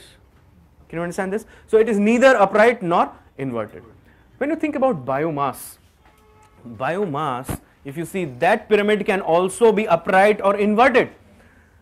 Let's say most of the ecosystems will have an upright biomass pyramid. But think of the ocean ecosystem where the producers are phytoplanktons. And at any given time if you uh, measure their mass it would be lesser than the whales all the whales together. Then how does the oceanic ecosystem or the aquatic ecosystem at that scale survives? Because the rate of production is very high.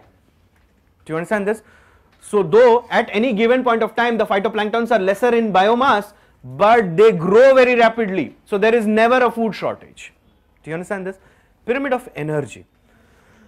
Pyramid of energy is always upright because we know the law of conservation of energy that energy could neither be created nor it could be destroyed could be only transformed from one form to another. But that's one part of thermodynamics. The other part says that no transformation is possible without the loss of energy. Generally speaking it is the 10% rule. Like suppose if you have absorbed 100 at the producer level energy the amount that is transferred to the next level is only 10 to the next level is only 1 to the next level is 0.1 so you can understand that that is what is the 10% rule generally speaking so pyramid of energy is always upright so you keep that also in mind and you see this is how energy flows in, in an ecosystem. The flow of energy is always linear or unidirectional, but the flow of matter is cyclic. That's why we are saying nutrient cycling. Are you understanding this?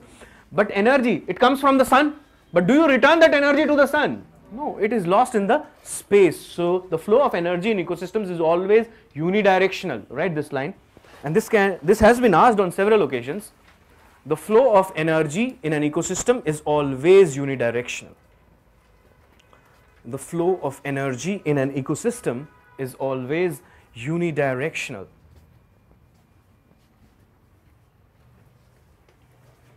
And you can understand that you have the primary producers, then you have primary consumers, secondary consumers, tertiary, quaternary, and as many as of them. And here you can see that they are herbivores, whereas they are all carnivores. So they are top carnivores, can I say? The tertiary and the quaternary consumers are top carnivores. So this is also true in aquatic or marine ecosystems. And generally speaking, there would be more trophic levels in the aquatic habitat or in the terrestrial habitat. It means diversity of organisms is more over the terrestrial habitat or over aquatic habitat. Half of the aquatic is dark zone. Which organism can survive in there? Do you understand this? And there is a greater spread and more homogeneity. But over terrestrial habitats, there is more diversity. Clear? So you write one line. Generally speaking, terrestrial habitats support greater trophic levels. Support greater trophic levels.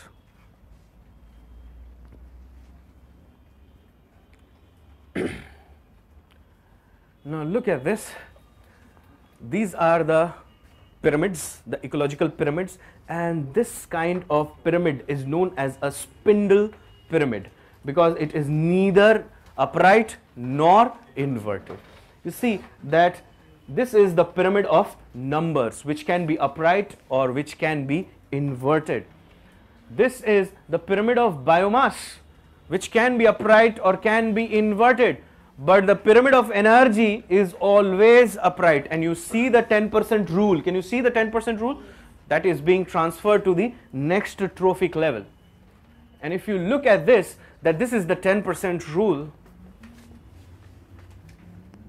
this is the 10% rule where you can see that at every next level there is only 10% of the energy is transferred from the previous trophic level. Clear? So keep this also in mind. Now look at this. We have also understood what is gross productivity and net productivity. And we understand net primary production and net secondary production. Now one ecosystem which has good net primary productivity has greater chances of survival. Clear? Now look at this. Think about ecological interdependence and ecological efficiency. Now organisms they depend on each other for food or say for example space survival shelter and reproduction. Let's say for example plants are dependent on pollinators for reproduction. So this interdependency is known as ecological interdependency we have several ecological efficiencies as well. Now what is this ecological efficiency? First we have the photosynthetic efficiency which is the gross primary production. It means how much of it in percentage terms of the total incident energy. Like suppose you got 100 units of solar energy how much you were able to convert that amount into food? Say only 10% then your photosynthetic efficiency is only 10% do you understand this? The base would be the solar heat net production efficiency the base would be gross primary production. If you multiply it with 100 you change it into percentage. Assimilation efficiency it means how much food you have taken and how much energy or how much you have been able to convert that food into biomass. That would be your assimilation efficiency. Now many times you would see that if you eat less and you will get more energy. At times you eat too much yet you get very less energy mostly when proteins and nutrients are missing in your diet clear and that's why you see that have you heard this famous english phrase that small or less is more small is beautiful less is more if you eat less your chances of survival increase do you know this if you eat more then your chances of survival they reduce कहते भी यही हैं कि ये बहुत खाता था इसलिए ये परेशानी हुई इसको ऐसा कोई नहीं बोलता कि बहुत कम खाता था and that's why you would see that you eat less but you eat the right kind of food it is the kind of calorie that are you are taking in good or bad calories so ecological interdependencies here is a chart which shows different kind of ecological interdependencies but this is for the entire ecosystem and culture includes cultural landscape as well but you can think of only natural landscape and what is ecological efficiency it is the energy at a trophic level and the energy that was available at the previous trophic level like suppose you got 10 kilocalorie and this level you get only 1 kilocalorie. So 9 kilocalories were lost. So that is the ecological efficiency. So these are four efficiencies which you must keep in mind and at times there can be some questions from these. Now we come to something called acclimatization versus adaptation. Acclimatization means that it is a slow and gradual adjustment to the changed environmental conditions. Like have you seen that if there is a big tournament coming up, the teams they travel to that destination much earlier to get acclimatized. Acclimatization is reversible. ऐसा नहीं है कि if you go to some uh, say suppose you go to Scandinavia, the temperatures, the moisture, everything is different from India. So it doesn't mean that when you come back, you find it very tough to adjust in India. Now, this happens at times that those people who go to say Europe or say Britain or say US and Canada and when they return back, they find it difficult to adjust and they say that the city is not clean and all those kind of thing. But जाने जब तक इनका visa नहीं लगा था ये भी कचरा फेंकते थे and you see that they also find it difficult with the accent changes and all those and it becomes really difficult for them to adjust back but i'm not talking about such kind of adjustment because these are sociological adjustments i'm saying physiological adjustment they do not find it tough that is acclimatization acclimatization it means that your biochemical processes you can alter them when you are found in new environmental conditions but given the old conditions return you can revert back it means acclimatization is reversible and every organism can acclimatize. The rate of acclimatization only differs. Adaptation is whereas a permanent change. Once you have adapted, like someone have grown a tail, that's an adaptation and it cannot be changed. Do you understand this? Now, adaptation, these traits are irreversible and adaptation can be of three kinds, morphological, behavioral or physiological. And once you have made these adaptations, you can genetically transfer that trait it means uh, a young camel is also born with a hump. Do you understand this? The hoofs. It means that camel does not have to fight it out again with the environment and make those physiological and morphological changes. He's already born with them. So adaptation is irreversible and is genetically transferred. Whereas acclimatization is reversible and it is not genetically transferred. It doesn't mean that if your father has been to Philadelphia and have lived there for a month very comfortably, you will also find it very comfortable. Maybe he was a gentleman. So you can understand that it is not all the time that you can acclimatize. Every organism has to fight it out with respect to acclimatization. But adaptation, you see, it's a gift from the parents. So write one line. Adaptation is a gift from the parents.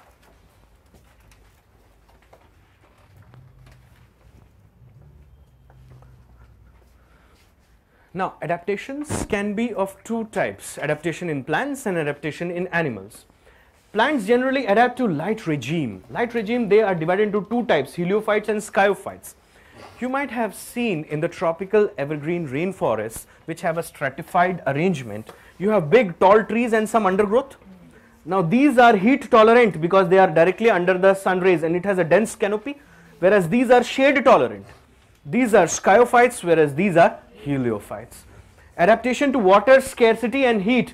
One would be ephemerals. Ephemerals are those kinds, say in deserts, you will find that there are some seeds which remain under the surface in a moribund state for a lengthy of lengthy period of time. But suddenly when the rains occur, they grow and complete their entire life cycle within a very short period of time. It means the germination, the flowering, the fruiting and the seed generation again before the moisture vanishes from the environment.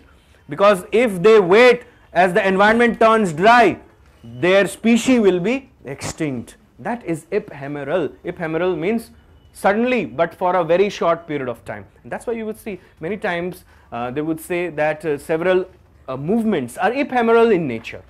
They would just come for a short period of time and then they would vanish. Tap roots. Tap roots are those roots which go very deep in search of moisture or also can go very deep in search of nutrients if the soil is heavily leached. Clear? Succulents. Succulents are those, like have you seen the cactus? The cactus develops a leathery surface. It means it develops a wax around it. Now the wax, if you wax it around, then you can understand you close the pores. As you close the pores, you reduce the transpirational losses and thus these organisms are known as succulents. Then you have xerophytes. Xerophyte or xerophytic adaptability is one thing, any adaptability that helps in reduction of the moisture loss. That is xerophytic adaptability. Like for ex example, some organisms will reduce the size of their leaves, will turn the leaves into needles, will turn them into thorns or will have no leaves.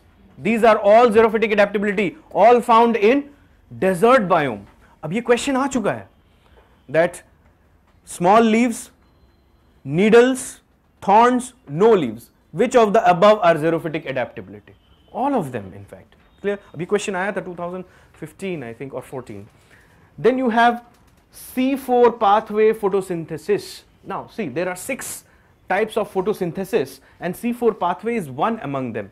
C4 pathway photosynthesis is one where you can perform better in distressed situations. Now look at this that plants having this pathway perform better in low soil water environment because this is adaptation to water scarcity.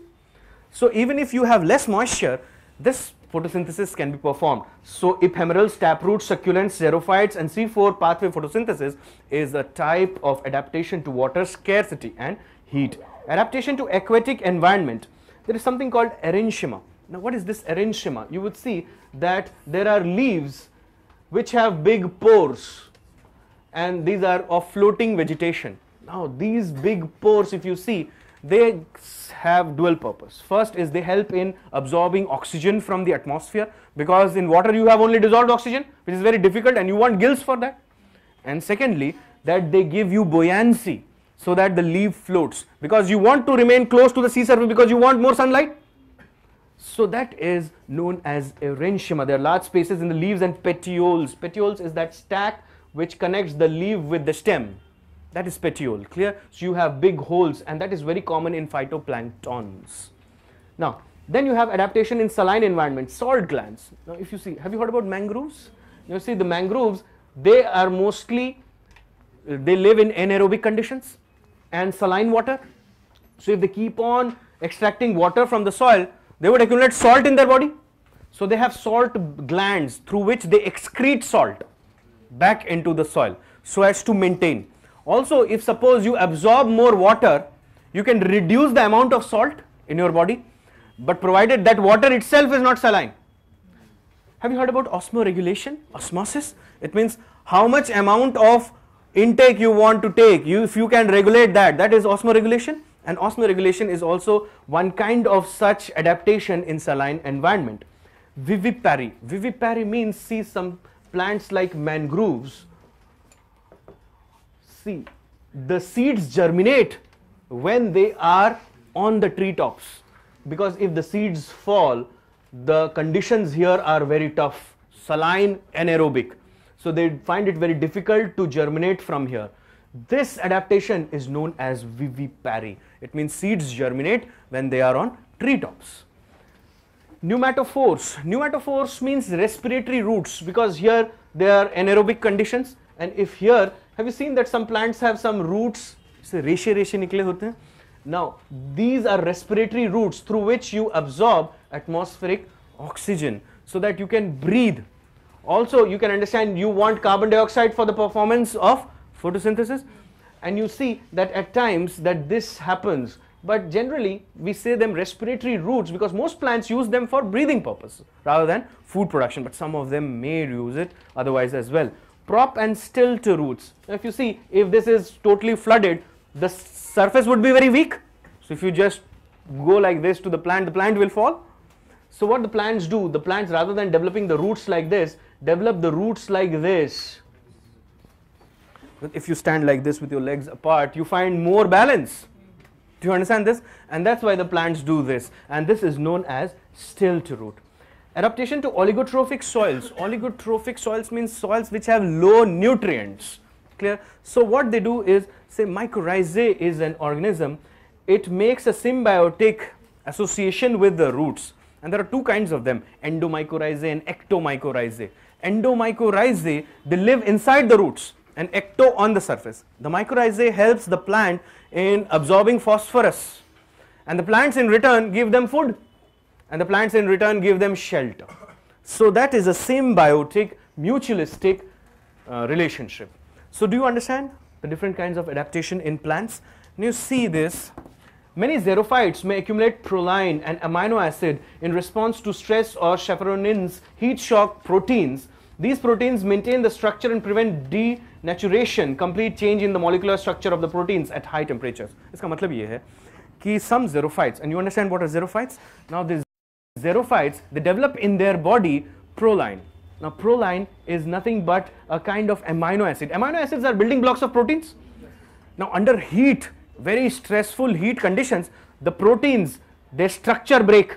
And if the protein structure break, you start, start feeling lethargic.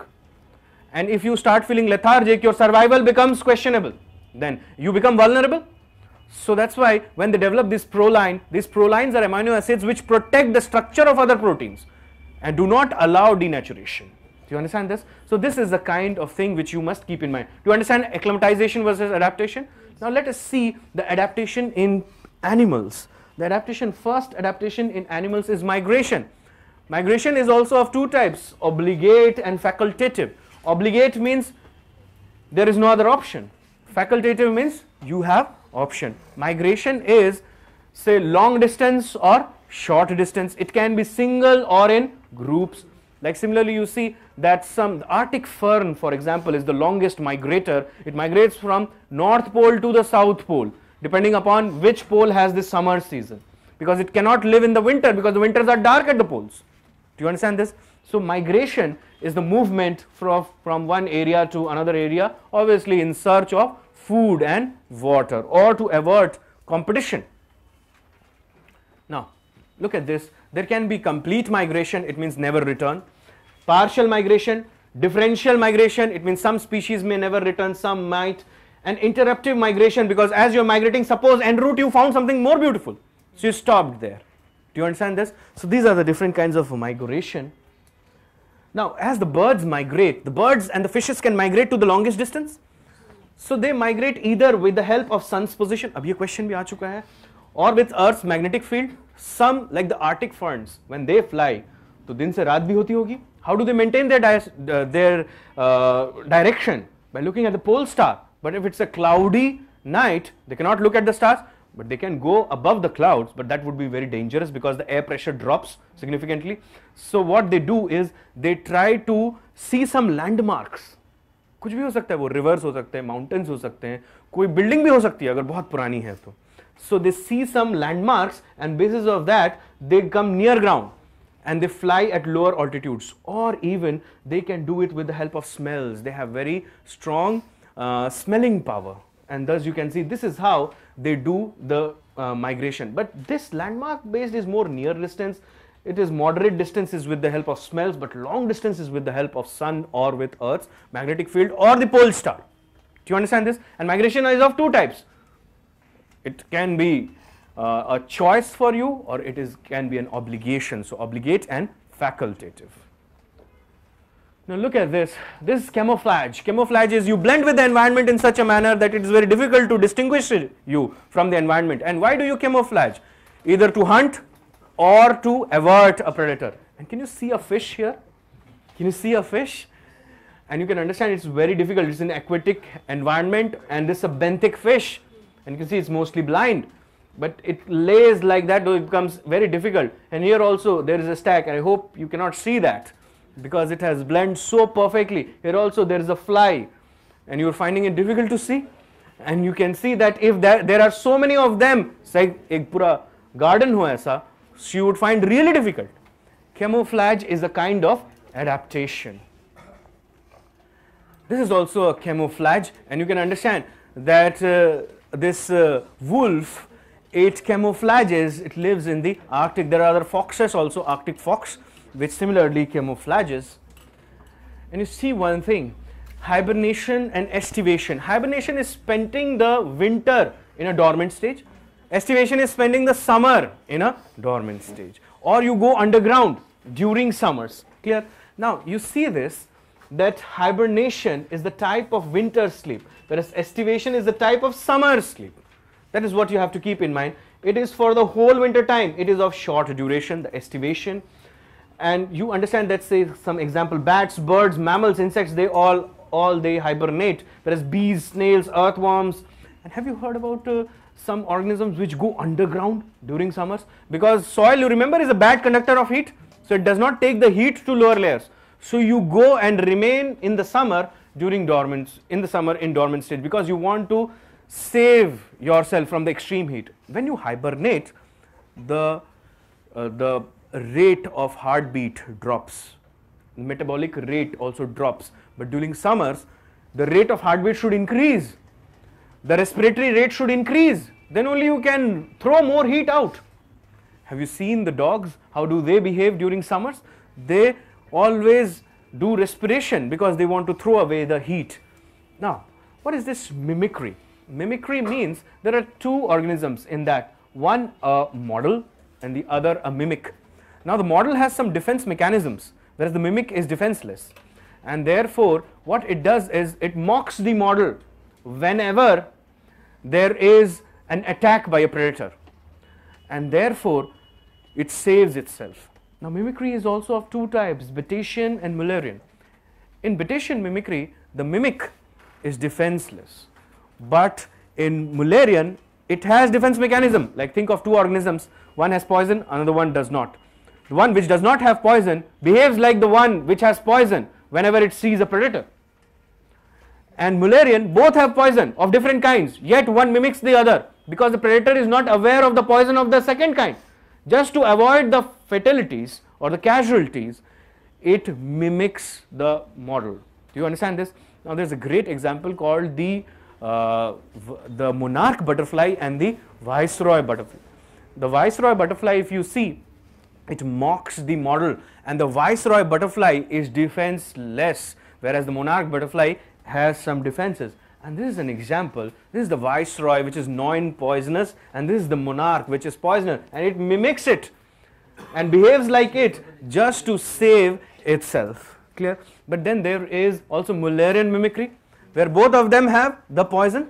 And one example would be this with respect to mullerian It's the red postman and common postman. The red postman has poison, the common postman also has poison, but yet they mimic just to avert the catastrophe. Clear?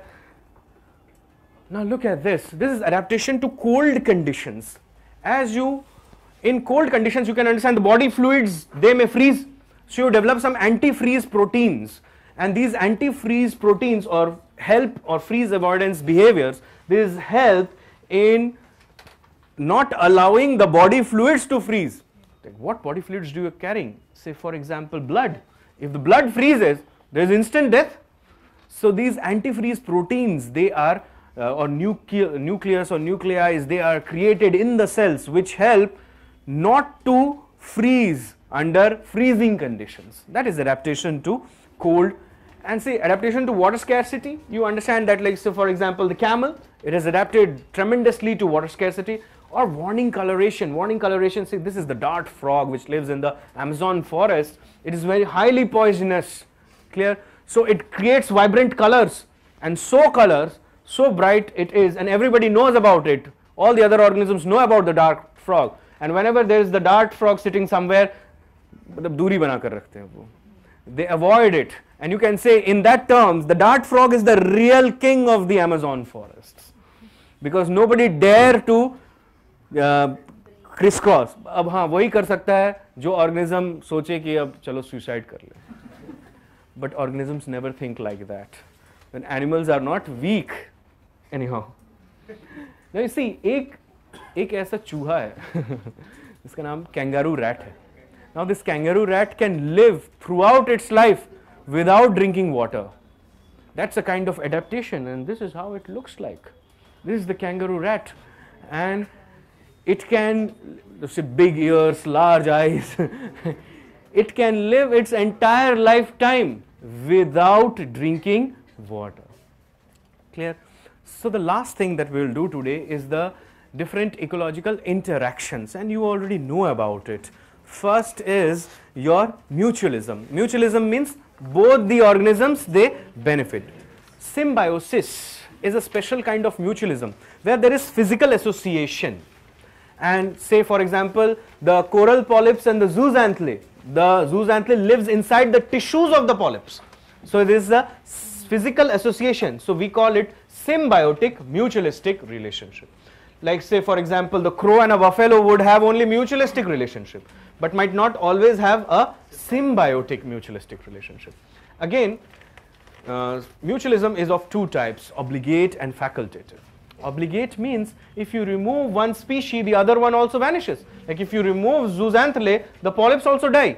But facultative means if you remove one species there is another option. And you can form the symbiosis with or the mutualistic partnership with some other organism. But do you remember this that uh, symbiosis is physical association? So those organisms which have developed symbiotic mutualistic relationship find it hard to find another alternative and that's why they are more vulnerable. For example the coral reefs. Okay do you understand commensalism? In which one organism benefits whereas on the other no impact. Amensalism one affects gets affected negatively on the other there is no impact. Prey predator relationships prey and predation one benefits the other one. And then you have parasitism where one benefits and the other does not. But you see one thing parasites they are generally smaller than their kill. The predators are larger than their kill. Parasites you see they kill their host in a long period of time but the predators kill them instantly. Parasites are more successful than predators. Predators generally fail in catching the prey. Also one more thing you keep in mind that parasitism promotes biodiversity if there is no parasitism then one organism will extract all the nutrients and will make the soil depleted. But it is the parasite that lives on its body which acts as a check on its absorption of nutrients thus allowing more nutrients there in the soil at any given point of time and thereby enriching the biodiversity. Write one line. Parasitism promotes biodiversity. Parasitism promotes biodiversity clear?